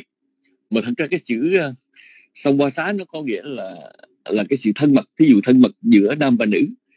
Và thậm chí cái quan hệ uh, dục dục giữa nam và nữ nó cũng có thể xài sông qua xá được. Tức là uh, người mỹ họ có chữ là intimacy intimacy tức là ờ, con người mình mình mình, mình thân thiết đến nỗi mà uh, mình trần trụi mình biết với nhau hết và biết biết rõ về nhau hết. Thành ra chữ chung sống nó không có đủ. Dạ, vâng, và đủ chúng tôi lấy một ví dụ là chúng tôi biết có những người uh, đời sống bình thường của họ đó mình gặp ở ngoài không có gì. Nhưng mà uh, khi mà ở gần họ rồi đó thì mình thấy rằng họ rất là uh, họ rất là nghiêm túc rất là đều đặn ở trong cái việc mà ừ, lễ lại bái sám. Yeah, ví dụ như là mỗi lần họ ra đường họ đều vô xá phật lại phật. Hay là uh, mỗi buổi mỗi ngày họ ở riêng thì họ vẫn uh, họ vẫn lên lại phật và lại phật xong và lại bờ tổ ông bà chẳng hạn. Và những điều này đó nó phải là không phải là họ diễn và cũng phải là họ làm vì đám đông mà họ sống một mình họ cũng thể làm như vậy. Thì phải có sống gần mình mới biết.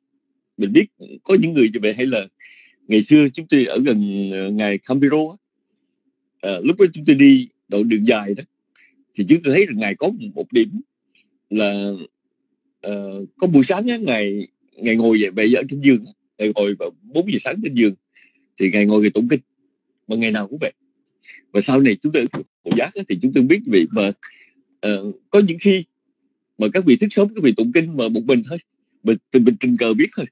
Cái này là uh, chúng chúng chúng chúng tôi thưa rằng cái chữ này đó là gọi là chữ, chữ sống chung thì nó chưa chưa đủ nó chưa đủ mạnh quý vị. Sống chung uh, sống chung thì chữ chỉ sống chung chung nó còn nhẹ lắm.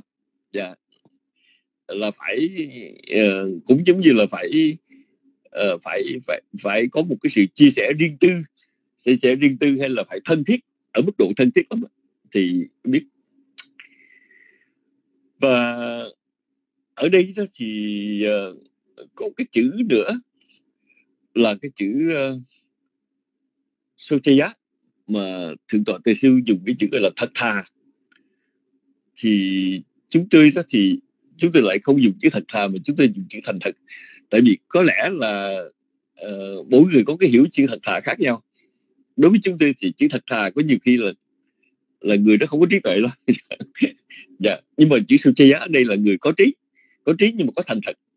Dạ chúng tôi lấy một ví dụ là uh, chúng tôi có đọc một câu chuyện có một uh, một người đến cái cửa tiệm ông này cũng giàu lắm. Ông đến tiệm ông mua một cái bộ máy. Thì người ta bán giống rồi sắp sắp lòng khóa đơn rồi. Thì ông chủ mới bước ra. Thì cái người khách ông mới hỏi thêm. Cái ông, ông khách ông mới hỏi thêm một vài điểm thì ông chủ hỏi ông mua cái máy đi về để làm gì. Thì ông nói rằng tôi mua cái máy về để uh, gắn gắn ở trong cái hệ thống mà nó tưới nước hàng ngày thì cái người cái người người chủ tiệm đó họ nói rằng như vậy ông phải đi mua cái khác. Tại cái máy này tuy nó mạnh nhưng mà nó có bền được. Và đặng nó không chịu được độ ẩm và cái ông, ông chủ ông nói thật ông nói thật về cái tính cách của máy nó không có hợp với nhu cầu mặc dù ông nói như vậy có nghĩa ông kia sẽ ờ, ông kia sẽ không mua sẽ mất tiền. Cái câu chuyện đó đó mà đó là câu chuyện thật quý vị thì cái ông ờ, cái ông khách đó, ông mới nói thôi thì bây giờ á tôi ờ, tôi nhờ cả tôi gậy ông ông đi mua giùm tôi đi và tôi trả tiền và tôi sẽ trả tiền quê hồng nữa. Thì ông chủ mới nói tôi sẽ cho ông cái địa chỉ. Ờ, ông đến đó ông mua nó sẽ rẻ hơn là tại vì cái, ờ, cái máy của ông nó không cần ờ, không cần ở đây và nhân viên ở đây họ gắn nó mất tiền lắm chúng tôi không có làm việc đó. Thì cái ông khách ông chỉ là ông nói không. Tôi có thể đi đến chỗ khác người ta rẻ hơn nhưng mà tôi muốn có một người tôi sẽ tin tưởng và ông là được tôi tôi sẽ tin tưởng được. Thì trong trường hợp đó chúng tôi nghĩ rằng như thượng tọa từ sư thượng tọa dùng chữ thật thà cũng đúng. Và ông nói đúng tại vì ông là người bán hàng nhưng mà ông nhưng mà chúng tôi thì chúng tôi không thích dùng chữ thật thà đó lắm. Chúng tôi dùng chữ thành thật. Mặc dù thành thật có nghĩa là ờ, mình mình có trí tuệ mình cũng mình cũng là người sáng suốt cũng là người bán nhạy nhưng mà ở trong trường hợp đó thì mình nói rõ cho khách hàng biết là cái này nó có lợi hay không có lợi. Quý vị thấy khi mà mình dịch mình lựa chữ nó cũng khó chứ không phải là không có. Và, và nó thêm một cái chữ uh, cái chữ này chữ này thì uh, chữ Samohara. Ừ, Samohara là thực tập là buôn bán. Và trong trong chữ đầu tiên chúng tôi dịch là chữ tương tác. Và sau này khi tọa thì sư nói thì chúng tôi sửa là, là chữ giao dịch. À,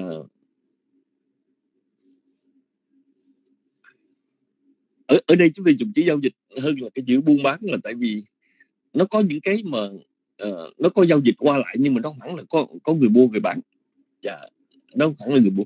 Chỉ giao dịch đó thì uh, là uh, chúng tôi chúng tôi lấy một cái một cái ví dụ như là uh, mình uh, mình làm giấy tờ cho người khác hay là mình đứng ra mình uh, uh, mình làm một cái dịch vụ gì gì đó uh, như sửa ống nước như khác thì chúng ta không gọi là mua bán và chúng ta gọi là uh, là giao dịch.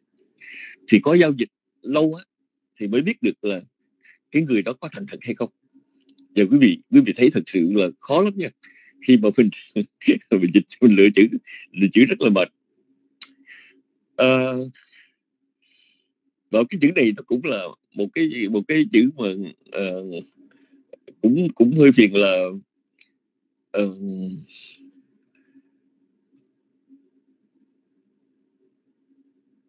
uh,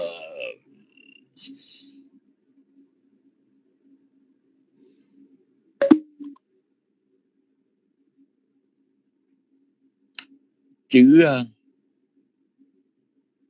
apada apada là là gian khổ là bất hạnh là hoạn nạn.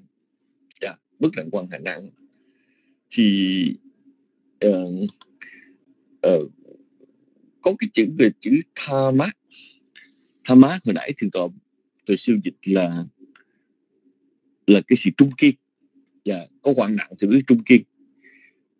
Thì ở đây đó chúng tôi dịch là sự bền bỉ. Và sự bền bỉ chịu đựng. Thật ra thì cả hai ý nghĩa này nó đều được nói trong kinh hết. Ở, ở, ở đây quý vị quý vị thấy rằng nó nó nó khó đó. Là tại vì người ta nói rằng uh, có hoạn nạn thì mới biết mới biết lòng nhau có hoạn nạn mới biết ai là người thật sự thương mình. Cái đó là một ý nghĩa. Nhưng mà chúng tôi thì chúng tôi hiểu ở đây là Đức Phật kể giải rằng một vị tỳ kheo á mà lúc mà sống đầy đủ mà tu hành tinh tấn á, thì như là chưa gọi vì đó thực sự tinh tấn. Khi nào mà sống thiếu thốn thiếu thiếu thốn ờ, sống cơ khổ thiếu thốn mà vẫn vẫn tiếp tục tinh tấn thì như lai gọi vì tỳ kheo đó là vị tỳ kheo tinh tấn. Ở đây chúng tôi lại chúng tôi lại hiểu cái câu này như nghĩa là mình có gian nan có thử thách đó, thì mình mới hiểu cái sự kiên tâm mới hiểu sự bền bỉ. Và yeah. chữ chữ chữ tha má ở đây chứ tình dịch là cái uh, chúng tôi tạo một cái sức chịu đựng của mình và sức chịu đựng của mình. Chúng tôi nói về biết là quý vị có quý vị thấy uh, đôi khi nó khác trong đường tơ cả tóc thôi. Uh, dịch mà ngồi lựa chữ là nó cũng nó cũng bền lắm. Quý vị chứ không phải đơn giản. Tức là uh, chúng ta nói gian nan thì mới biết cái sự trung thành hay là sự trung kiên. Gian nan với trung kiên là một chuyện khác. Mà mình nói là có gian nan thì biết biết cái sự ờ, cái sức cái sức chịu đựng hay là cái sự bền lòng của mình đó là một nghĩa khác. Thì kể ra thì thì là mình mình phải mình phải cố gắng dịch. Bởi vì khi mình dịch cái này đó thì chúng tôi phải so sánh ba bốn bản và tìm chữ. Và càng dịch thì mình mới thấy quý vị biết ngày hôm nay là ngày đầu tiên chúng tôi bắt đầu khởi sự là chúng tôi dịch cái bản uh, bản uh, tương đương bộ này. Và uh, chúng tôi thấy rằng nó có có nhiều nhiều việc mà phải uh, mà, mà phải đắn đo chứ không phải đơn giản chỉ là một bài kể giống như trước kia. Thì đó là cả vấn đề. Nhưng mà thực sự mình học được rất là nhiều thứ vị học rất là nhiều. Hồi nãy chúng tôi có nói riêng với uh, đại từ tri đó. Ở trong trước đây đó là uh, chúng tôi đọc bài kinh này cách đây khoảng 50 năm. Chúng tôi nhớ là bài kinh này chúng tôi đọc lần đầu tiên là năm 1976 và 76 uh, ờ, tức là cách đây bao nhiêu năm thưa quý vị cách đây bốn mấy năm bốn mấy năm. Năm đó đó hòa thượng Minh Châu mới dịch cái bản tương ứng bằng radio và khi chúng tôi đọc bản kinh đầu tiên thì chúng tôi cứ hiểu là vua ba xê ná đí đó tuy rằng có thương có kính đức phật nhưng mà nhà vua vẫn có cái cái tầm cái tâm kính mộ đối với ngoại giáo và do đó gặp những giờ, giờ tu sĩ ngoại đạo rồi nhà vua cũng đứng lên đảnh lễ. Và thật ra trong lòng chúng tôi cũng coi thường nhà vua. Nhưng mà khi mình dịch là bản kính này chúng ta thấy wow, mấy chục năm mình hiểu sai hiểu sai. Bởi vì nó phải so sánh đầu để so sánh kia. Thấy là cái chuyện dịch này không đơn giản. Và chúng tôi cũng rất là mong là trong tương lai ở Việt Nam mà có in lời bộ tâm tạng đó, thì sẽ có nhiều người cùng dịch. Ờ, ờ, nó nó có cái này thưa quý vị khi mà mình dịch đó, nó có nhiều ý kiến rất là tốt. Và người có người có thấy chỗ này người thấy chỗ kia. Ngày xưa khi mà giáo hội yêu cầu chúng tôi dịch cái bản kinh tụng á thì chúng tôi vừa có dịch văn dịch nghĩa mà thật ra lúc đó có mười mấy vị sư mười mấy vị ngồi lại để mà cùng nhau góp ý. Thành ra dịch là chứ không phải là một buổi. Ờ, uh, thật sự mà nói thì tối qua chúng tôi cũng hơi phần ờ, có công việc cả ngày hơi mệt. Và đến tiếng chuyện đi có hỏi bài chúng tôi dịch uh, nha nhưng mà có nhiều chỗ chúng tôi cũng chưa nghĩ. Dạ, và có sai và từ tổ tiểu siêu có đề nghị ờ, đề nghị sửa lại đó. Thì ờ, thật ra thì chúng tôi lấy cái ý đó từ bản chữ hán mà ra. Bây giờ chúng tôi coi lại thì chúng tôi hiểu bản chữ hán cũng chưa có chưa có chính xác. Thì quý vị biết rằng đó là cả vấn đề. Nhưng mà đối với chúng ta đó thì mình học kinh điển điều quan trọng là cho mình một cái cơ hội cho mình cái cơ hội để mình tiếp xúc với chánh kinh để được suy niệm về chánh kinh và để được đào sâu. Có suy niệm, có đào sâu thì chúng ta mới lãnh hội được. Và chúng ta đừng bao giờ ý lại là cái gì đó mình đã đọc rồi mình hiểu.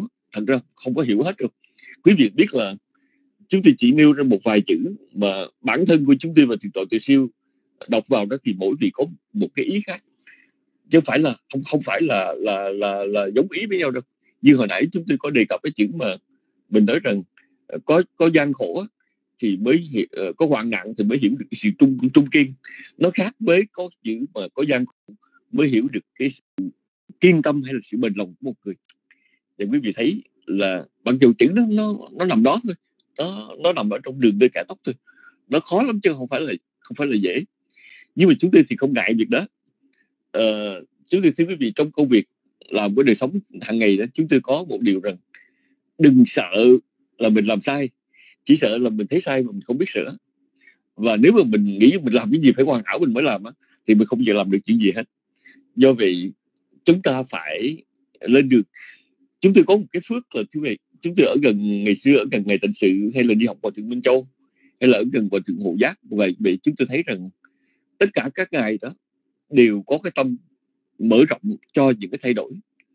Chúng tôi rất là sợ là mình làm cái gì đó mà mình nghĩ rằng mình làm việc đó rồi nghĩa là việc đó nó phải hoàn hảo ngay từ bước đầu. Và chúng tôi thưa rằng mình làm việc gì cũng phải luôn luôn cải thiện. Và rất là nhờ nhờ vào chúng ta nhờ vào chúng ta có dịp là uh, học mỗi ngày. Nhưng quý vị vào trong trung quý học mỗi ngày như vậy chúng tôi chưa bao giờ thấy chuyện đó là cơ khổ với bản thân chúng tôi hết. Và chúng tôi nghĩ rằng đó là cái dịp để chúng ta đọc lại kinh tạng và đọc lại và điều chỉnh lại những gì mà chúng ta hiểu. Và phải nói rằng uh, chúng tôi không biết là quý vị được bao nhiêu lợi ích nhưng mà cá nhân chúng tôi thì rất là lợi ích.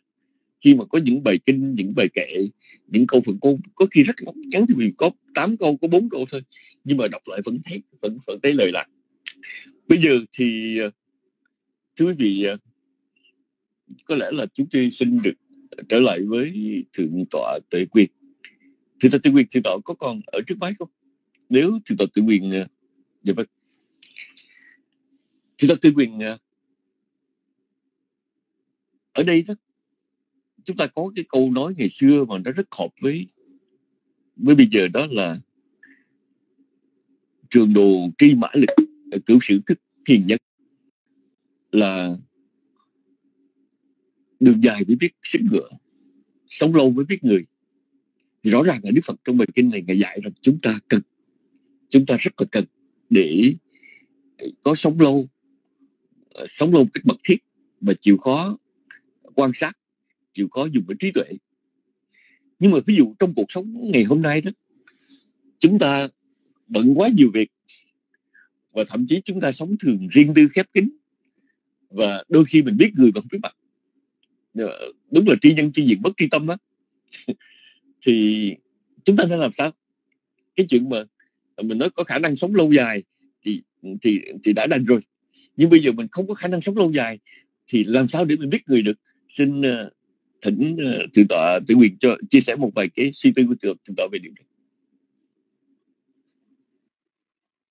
Dạ nam mô bổn thầy dạ nam mô tham ma dạ nam mô sanh khai dạ tôi kính đợi đến chư tôn đức tăng kính đợi đến với cùng cùng được cái tình trạng của thật thì cuộc sống ngày hôm nay nó lại càng khó khăn hơn khi mà để phải trải qua một cái thời gian. Khi mà để biết vân vân. Thì nhưng có một điều là đây là một hình thái mà để sống, để trọn vẹn một niềm tin. Sống để trọn vẹn một cái một cái ý nguyện mà chúng ta làm. Chứ còn con người thì bây giờ nó vô thường quá, con người nó gian dối người nó đổi thay quá. Bây giờ mình là một người tu. Mình hiểu biết Phật pháp. Bây có một người lạ, người ta tới, người ta nhờ bản cái thế này, nhờ bản như thế kia. Thì nếu như chúng ta là một người tu, thì chúng ta có thể giúp được cái gì thì giúp. Chứ chẳng là việc chúng ta phải suy xét con người này nó như thế nào, người này nó như thế kia. Thì đây là một điều phải nói là nó vượt ngoài cái thời gian của chúng ta. Cũng như thế bây giờ người ta đến từ sinh tu. Thì cũng ví dụ Việt Nam thì họ tới từ sinh tu. Thì bây giờ hỏi họ, họ có một ít coi như là có một căn bản những giấy tờ. Rồi hỏi họ một đôi điều.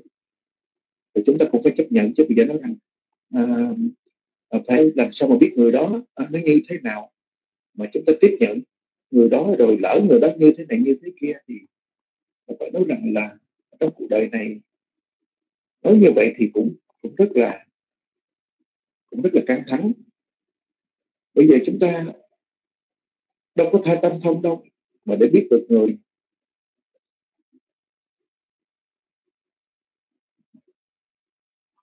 Có nhiều khi cũng nhận một số người tu thì có một chỗ tăng nó nói trời sư sư sư chưa biết người ta như thế nào mà sư nhận. Cái sư cái tôi nó nói rằng lên tới. Nghĩ làm sao mà biết. Bây giờ họ có cái tâm thành họ tốt, họ có một căn bản giấy tờ để chứng minh cái nhân thân của chính họ. Như vậy là đủ tiêu chuẩn rồi. Chứ còn bây giờ mình phải biết là họ nhở đâu số mấy đường gì, bao nhiêu con, bao nhiêu người bao nhiêu bao nhiêu như thế nào thế nào thế nào thì có cần thiết đó. Rồi cái thời gian họ vào tu thì không biết họ có chịu nổi hay không thì nhận họ chi. Thì mình chưa biết họ chịu nổi hay không thì mình cứ nhận đi. Còn chuyện họ chịu nổi không chịu nổi gì đó từ cái duyên của chính họ. Thì đó là chính là một cái, một cái tinh thần thôi. Thì như vậy thì hỏi gì chứ? Điều ở đây phải nói rằng nó khó đoán vô cùng. Nó khó đoán lắm hay là một người phật tử đó họ thể hiện một cái một cái sự tính thành một niềm tin hay tam bảo nhưng sự thật ra cái điều đó, đó cũng chưa có nói được là họ sẽ là con người phải nói là tồn tại lâu dài đâu.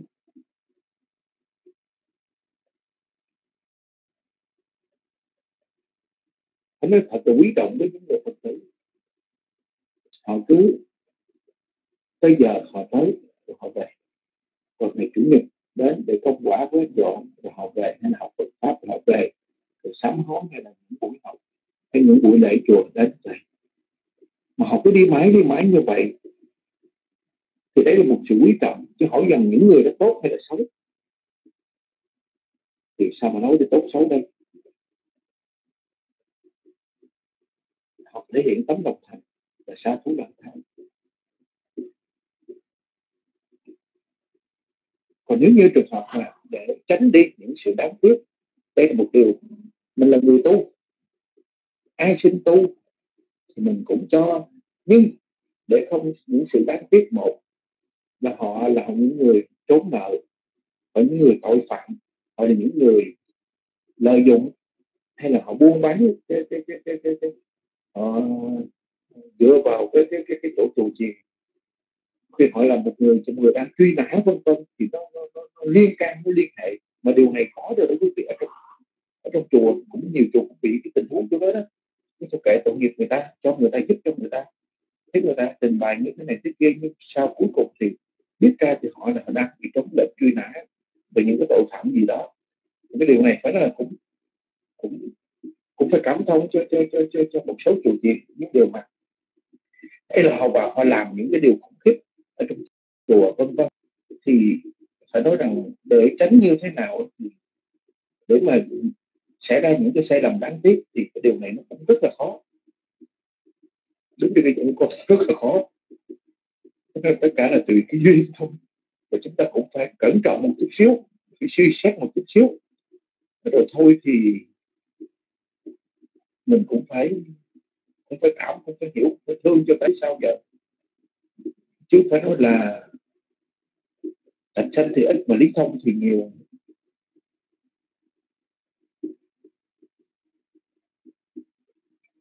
Rồi, ngay cả một số phật tử có cái sự nhờ vả có một cái sự thân gần như thế này như thế kia thì nhiều thứ. Nhiều khi họ tới thì không phải là mượn tiền, mượn bạc. Nhưng đều mà mượn những cái dụng cụ hay những cái điều kiện của chùa chiền, nó cũng mất đi thì cũng có. Mà nhiều khi mà mình hay bị nó vỡ hay là nó do nó quên như thế này thì cũng rất là khổ cho một cái vị ở trụ trì hay cho một vị mà trách nhiệm ở chùa. Và nói là nó cũng phải khéo léo mà xử lý cho một người lạ họ tới. Họ than thở cái điều này khổ sở cái điều kia.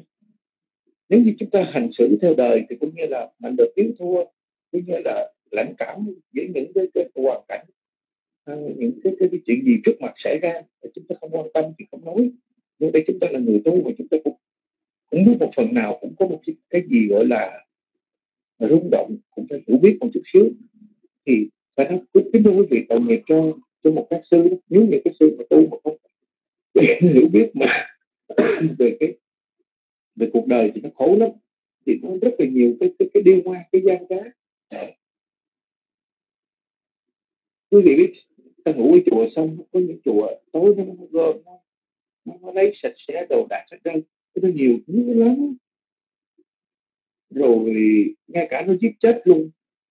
Giết chết luôn ờ, cái cái cái cái cái cái cái cái, cái, cái, cái bị trụ trì. Ờ, có thứ cũng có chuyện nó cũng có.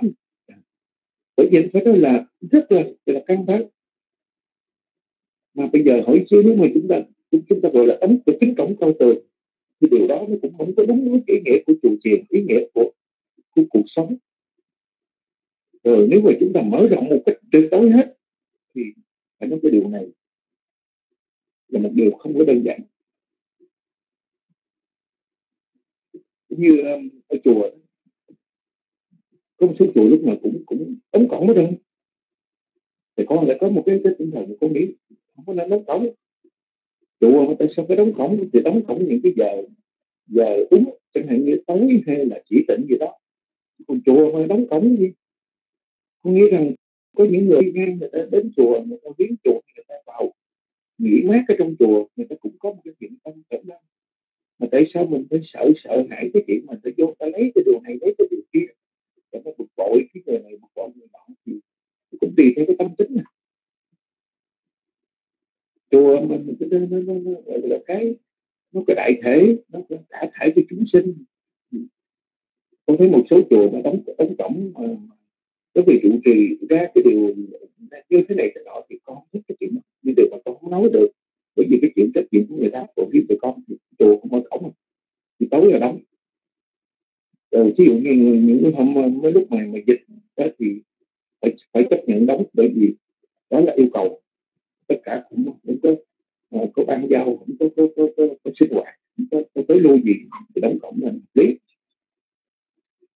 Thì ví dụ một chuyện đó thôi thì phải nói rằng cái đời sống cũng cả một đề chứ không phải chuyện chúng ta nói ở một cách tức là phải là phải suy xét như thế nào phải sống thời gian. Cái việc ở người tốt người xấu thì cái điều này nó cả một cái à, một cái cái chuyện nó còn quả thực thì nó rất là khó chịu chứ không phải là bình thường được. Và đây chính là cái ý nghĩa của con này như thế. Những có điều gì mà thì con thấy có những cái điều này gì mà cái tốt đẹp thì phải nói ra để cho chúng con và đại chúng hiểu. Nam mô bổn thầy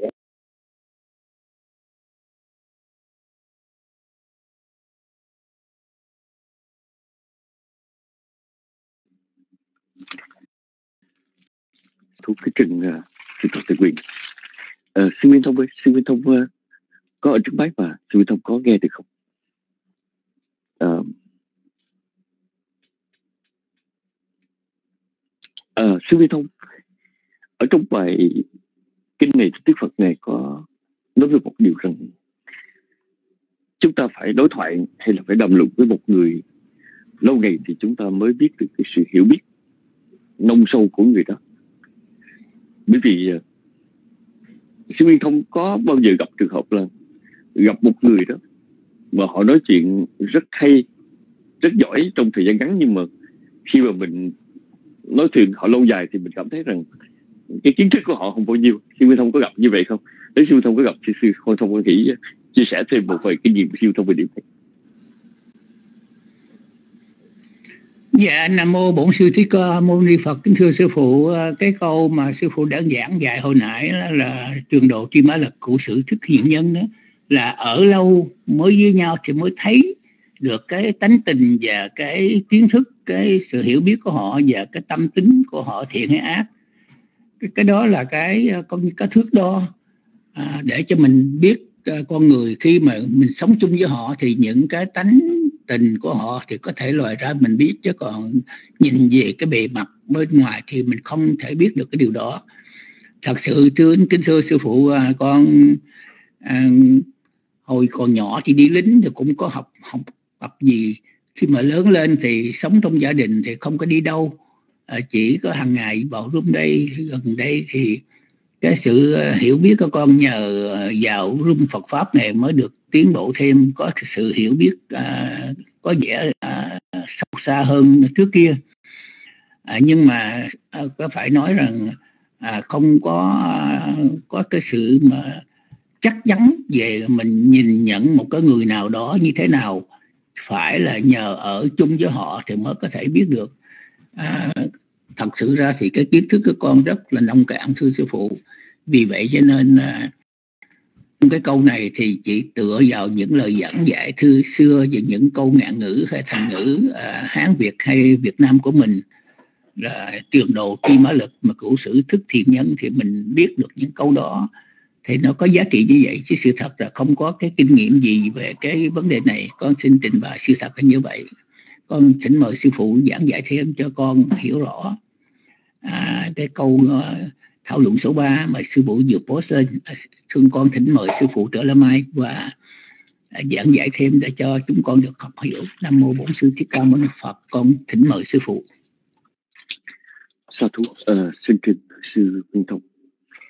Thưa quý vị uh, khi chúng ta đọc vào ở trong tam tạng và tiêu biểu nhất là một bài kinh rất nổi tiếng là kinh Kalama thì ờ, Đức Phật Ngài có dạy chúng ta là đối với bất cứ điều gì được nghe đó, dù đó là nghe từ một người có danh tiếng hay là đó là do cái phong tục tập quán hay là đó là được ghi trong kinh điển hay đó là điều được chấp nhận bởi phần đông vân vân thì ngài khuyên là khoan vội tin và khoan vội bỏ mà hãy tự mình thẩm nghiệm, trắc nghiệm, xem điều đó đó nó có phải là khi mà chúng ta ờ, chấp nhận hành trì đó nó làm cho chúng ta tăng trưởng, tham sân si,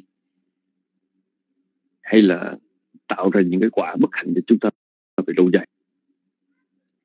Thì rõ ràng là Đức Phật ngài khuyên chúng ta không phải bằng thái độ hoài nghi mà ngài khuyên chúng ta nên có thái độ cân nhắc và đừng tin một điều gì đó chỉ đơn giản là bằng bằng cái thành kiến hay bằng định kiến. Và kể cả một người mà rất là đáng tin. Ở đây, thưa quý vị ờ, chúng ta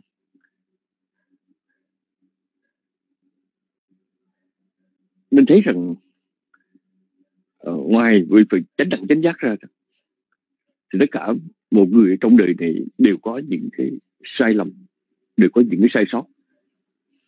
Nhưng mà điều quan trọng trong cuộc sống là chúng ta biết góp chặt những cái tinh hoa của cuộc sống này. Vì vậy khi mà mình đọc một quyển sách hay mình nghe một bài giảng thì chúng ta cũng không thể tin trọn vẹn hay là cái gì quyển sách đó cũng đúng hết. Chúng tôi nhớ hồi nhỏ ở gần sư trưởng sư trưởng hay nói câu là tận tính thư bất như vô thư. Tức là đọc sách mà tin mà cả tin đọc sách mà tin hết á, tin trọn vẹn á, thì tốt hơn hết đừng đọc sách. Điều đó không phải là một thái độ hoài nghi nhưng mà ở đây là chúng ta nên có một sự cẩn trọng. Chúng tôi kể quý vị nghe câu chuyện này là một câu chuyện mà uh, nó có thật ở trong một ngôi chùa. Ngôi chùa này cũng quen thân với chúng tôi. Là có một uh, ni sư. Cất chùa và có một phật tử.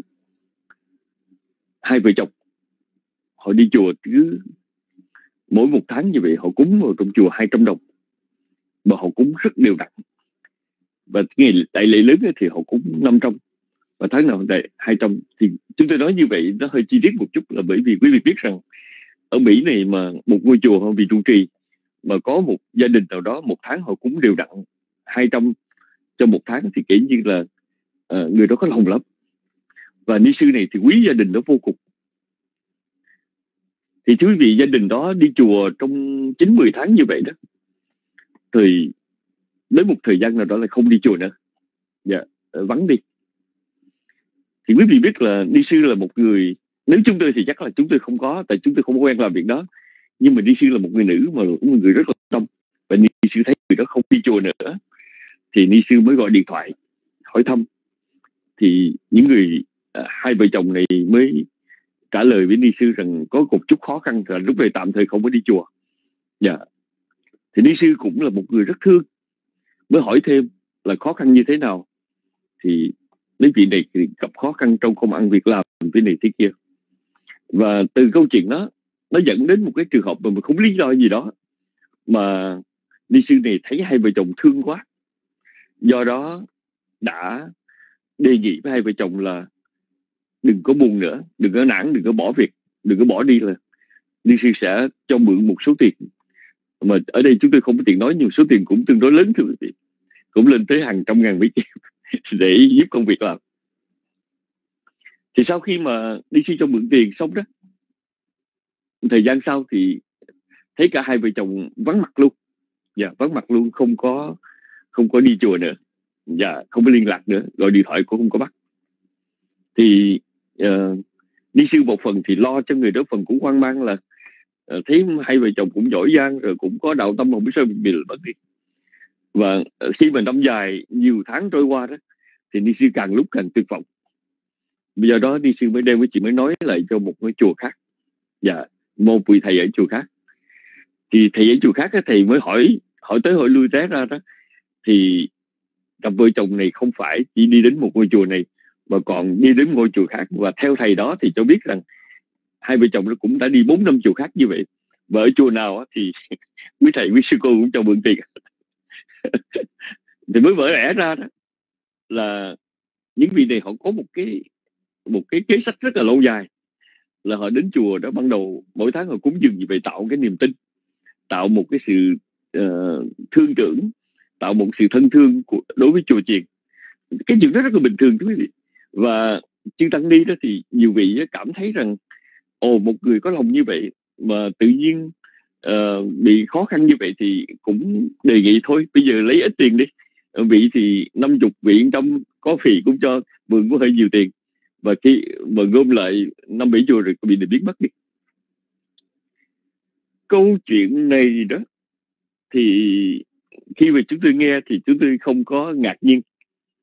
Ngày xưa hòa thượng hộ giác đó hòa thượng có hòa thượng có nói một cái chuyện hòa thượng nói rằng ở trong đời này đó cái gì mà mình có được còn được không phải là do mình giỏi mình giỏi gì mà tại vì người khác chưa muốn lấy thôi.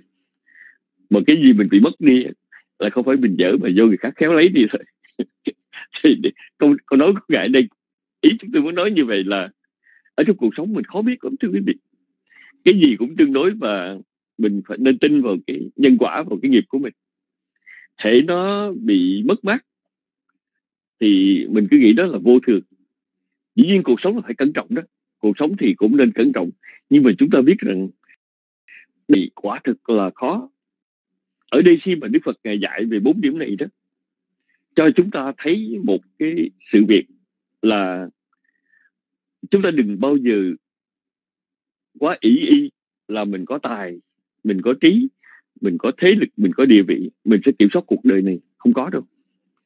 Cỡ nào nó cũng có vấn đề cỡ đó hết. Dạ. Uh, quý vị thấy có gặp người có bạn xấu họ phản họ phản mình thì đừng nghĩ rằng ô tại sao mình dở về hay là mình bất hạnh về? Ngay cả quý vị làm tổng thống đi nữa ta cũng phản như thế. Quý vị biết là uh, có những người làm việc cho vị tổng thống. Uh, họ biết những cái chuyện không không tốt vì tổng thống rồi sau khi sau đó họ hết làm việc họ biết hồi ký họ biết sách họ bán. Uh, họ bán vẫn chạy như thường. Và uh, trong cuộc sống anh nó nó có nhiều chuyện xảy ra không? Dạ chúng ta là người học Phật pháp. Điều quan trọng mà khi chúng ta học đó là, uh, giữ cái bình tâm và bình tâm cuộc sống. Cái gì nó cũng tương đối. Và nhớ lời Đức Phật dạy đó là phải thân cận mật thiết với một người lâu á, thì chúng ta mới biết được người đó cái giới hạnh tốt xấu thế nào. Còn mới mới gặp nhất là người mình mới nghe ai nói sơ sơ hay gặp ai thì nói người tốt quá hay người đó xấu quá đó, thì coi chừng chúng ta đang tự mình ờ, đặt mình vào cái chỗ mà sai lầm rất là lớn. Gọi là bé cái lòng người bắc nó bé cái lòng và đức phật này cũng dạy chúng ta đó là mình muốn biết một người có thành tính một người thành thật thế nào mình phải giao dịch với người đó lâu dài. Thì mình mới biết được chứ không phải là một sớm một chiều. Một việc mình phải trải qua những cái gian khổ, thử thách trong đời sống nhiều thì mình mới có thể hiểu được cái khả năng chịu đựng hay sự kiên tâm của một người hay là cái nỗ lực của một người như thế nào. Và dĩ nhiên là chúng ta phải đàm luận lâu ngày mới biết một người thế nào là một người trí thức thật sự. Có nhiều người có bằng cấp không hẳn là trí thức đâu một người mà uh, nói ra cái gì thì cũng nhớ chuyện đông tây kim cổ cũng không phải là có trí thức đâu. Một người trí thức là người có khả năng nhớ những điều đáng nhớ và có cái khả năng nhận xét một cái chính xác và đồng thời biết lựa chọn và cái gì là cái đáng đáng làm đáng nói trong đời sống của mình. Có nhiều người quý vị họ học rất là nhiều quý vị nói họ nghe nhiều chuyện lắm. Cũng như chúng tôi thưa quý vị rằng đừng bao giờ thấy một người thuộc nhiều thơ mà nói người đó là có hồn thơ hay là người đó có một cái uh, làm thơ hay hay là hoặc giả là người đó thật sự là họ có cảm nhận tốt. Có nhiều người họ thuộc nhiều thơ lắm nhưng mà cái hiểu cái cảm nhận về thơ của họ nó rất là dở. Không có gì hết thuộc đừng chỉ là người thuộc nhiều thơ. Mình mình chỉ là người đó có một cái một cái một cái sự cảm nhận về thơ cái sâu sắc không phải. Phải phải tiếp xúc phải bàn lâu thì chúng ta mới hiểu được. Nói chung là uh, ông bà chúng ta nói là vi nhân năng thậm năng thậm năng. Làm người thì khó khó đủ mọi chuyện thiết bị và một trong những cái khó là chúng ta hiểu những người xung quanh mình. Hiểu những người bị tiếp xúc. Bây giờ thì chúng ta xin kết thúc chương trình sinh hoạt hôm nay của trung Phật pháp Buddha kính tri ân chư tôn đức để vào trong thuyết giảng. Ngày mai này chúng ta sẽ có một cái uh, uh, bài học về tương ưng bộ. Và giảng sư là thượng tọa pháp đăng xin uh, kính chúc quý ngài và quý vị một ngày an lành một đêm an lành. Hẹn gặp lại trong chương trình ngày mai. Nam mô bích thai gia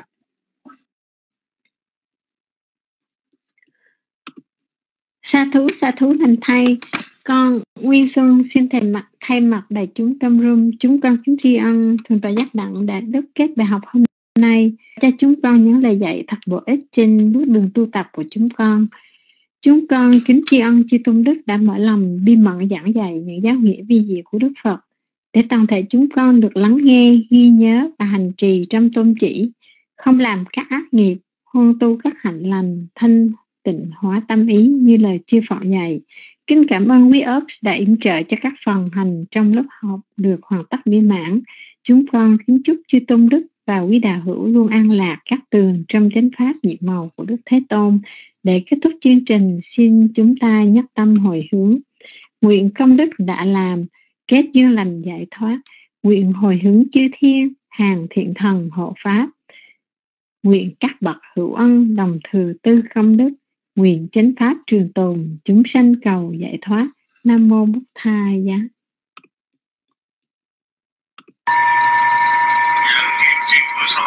Hãy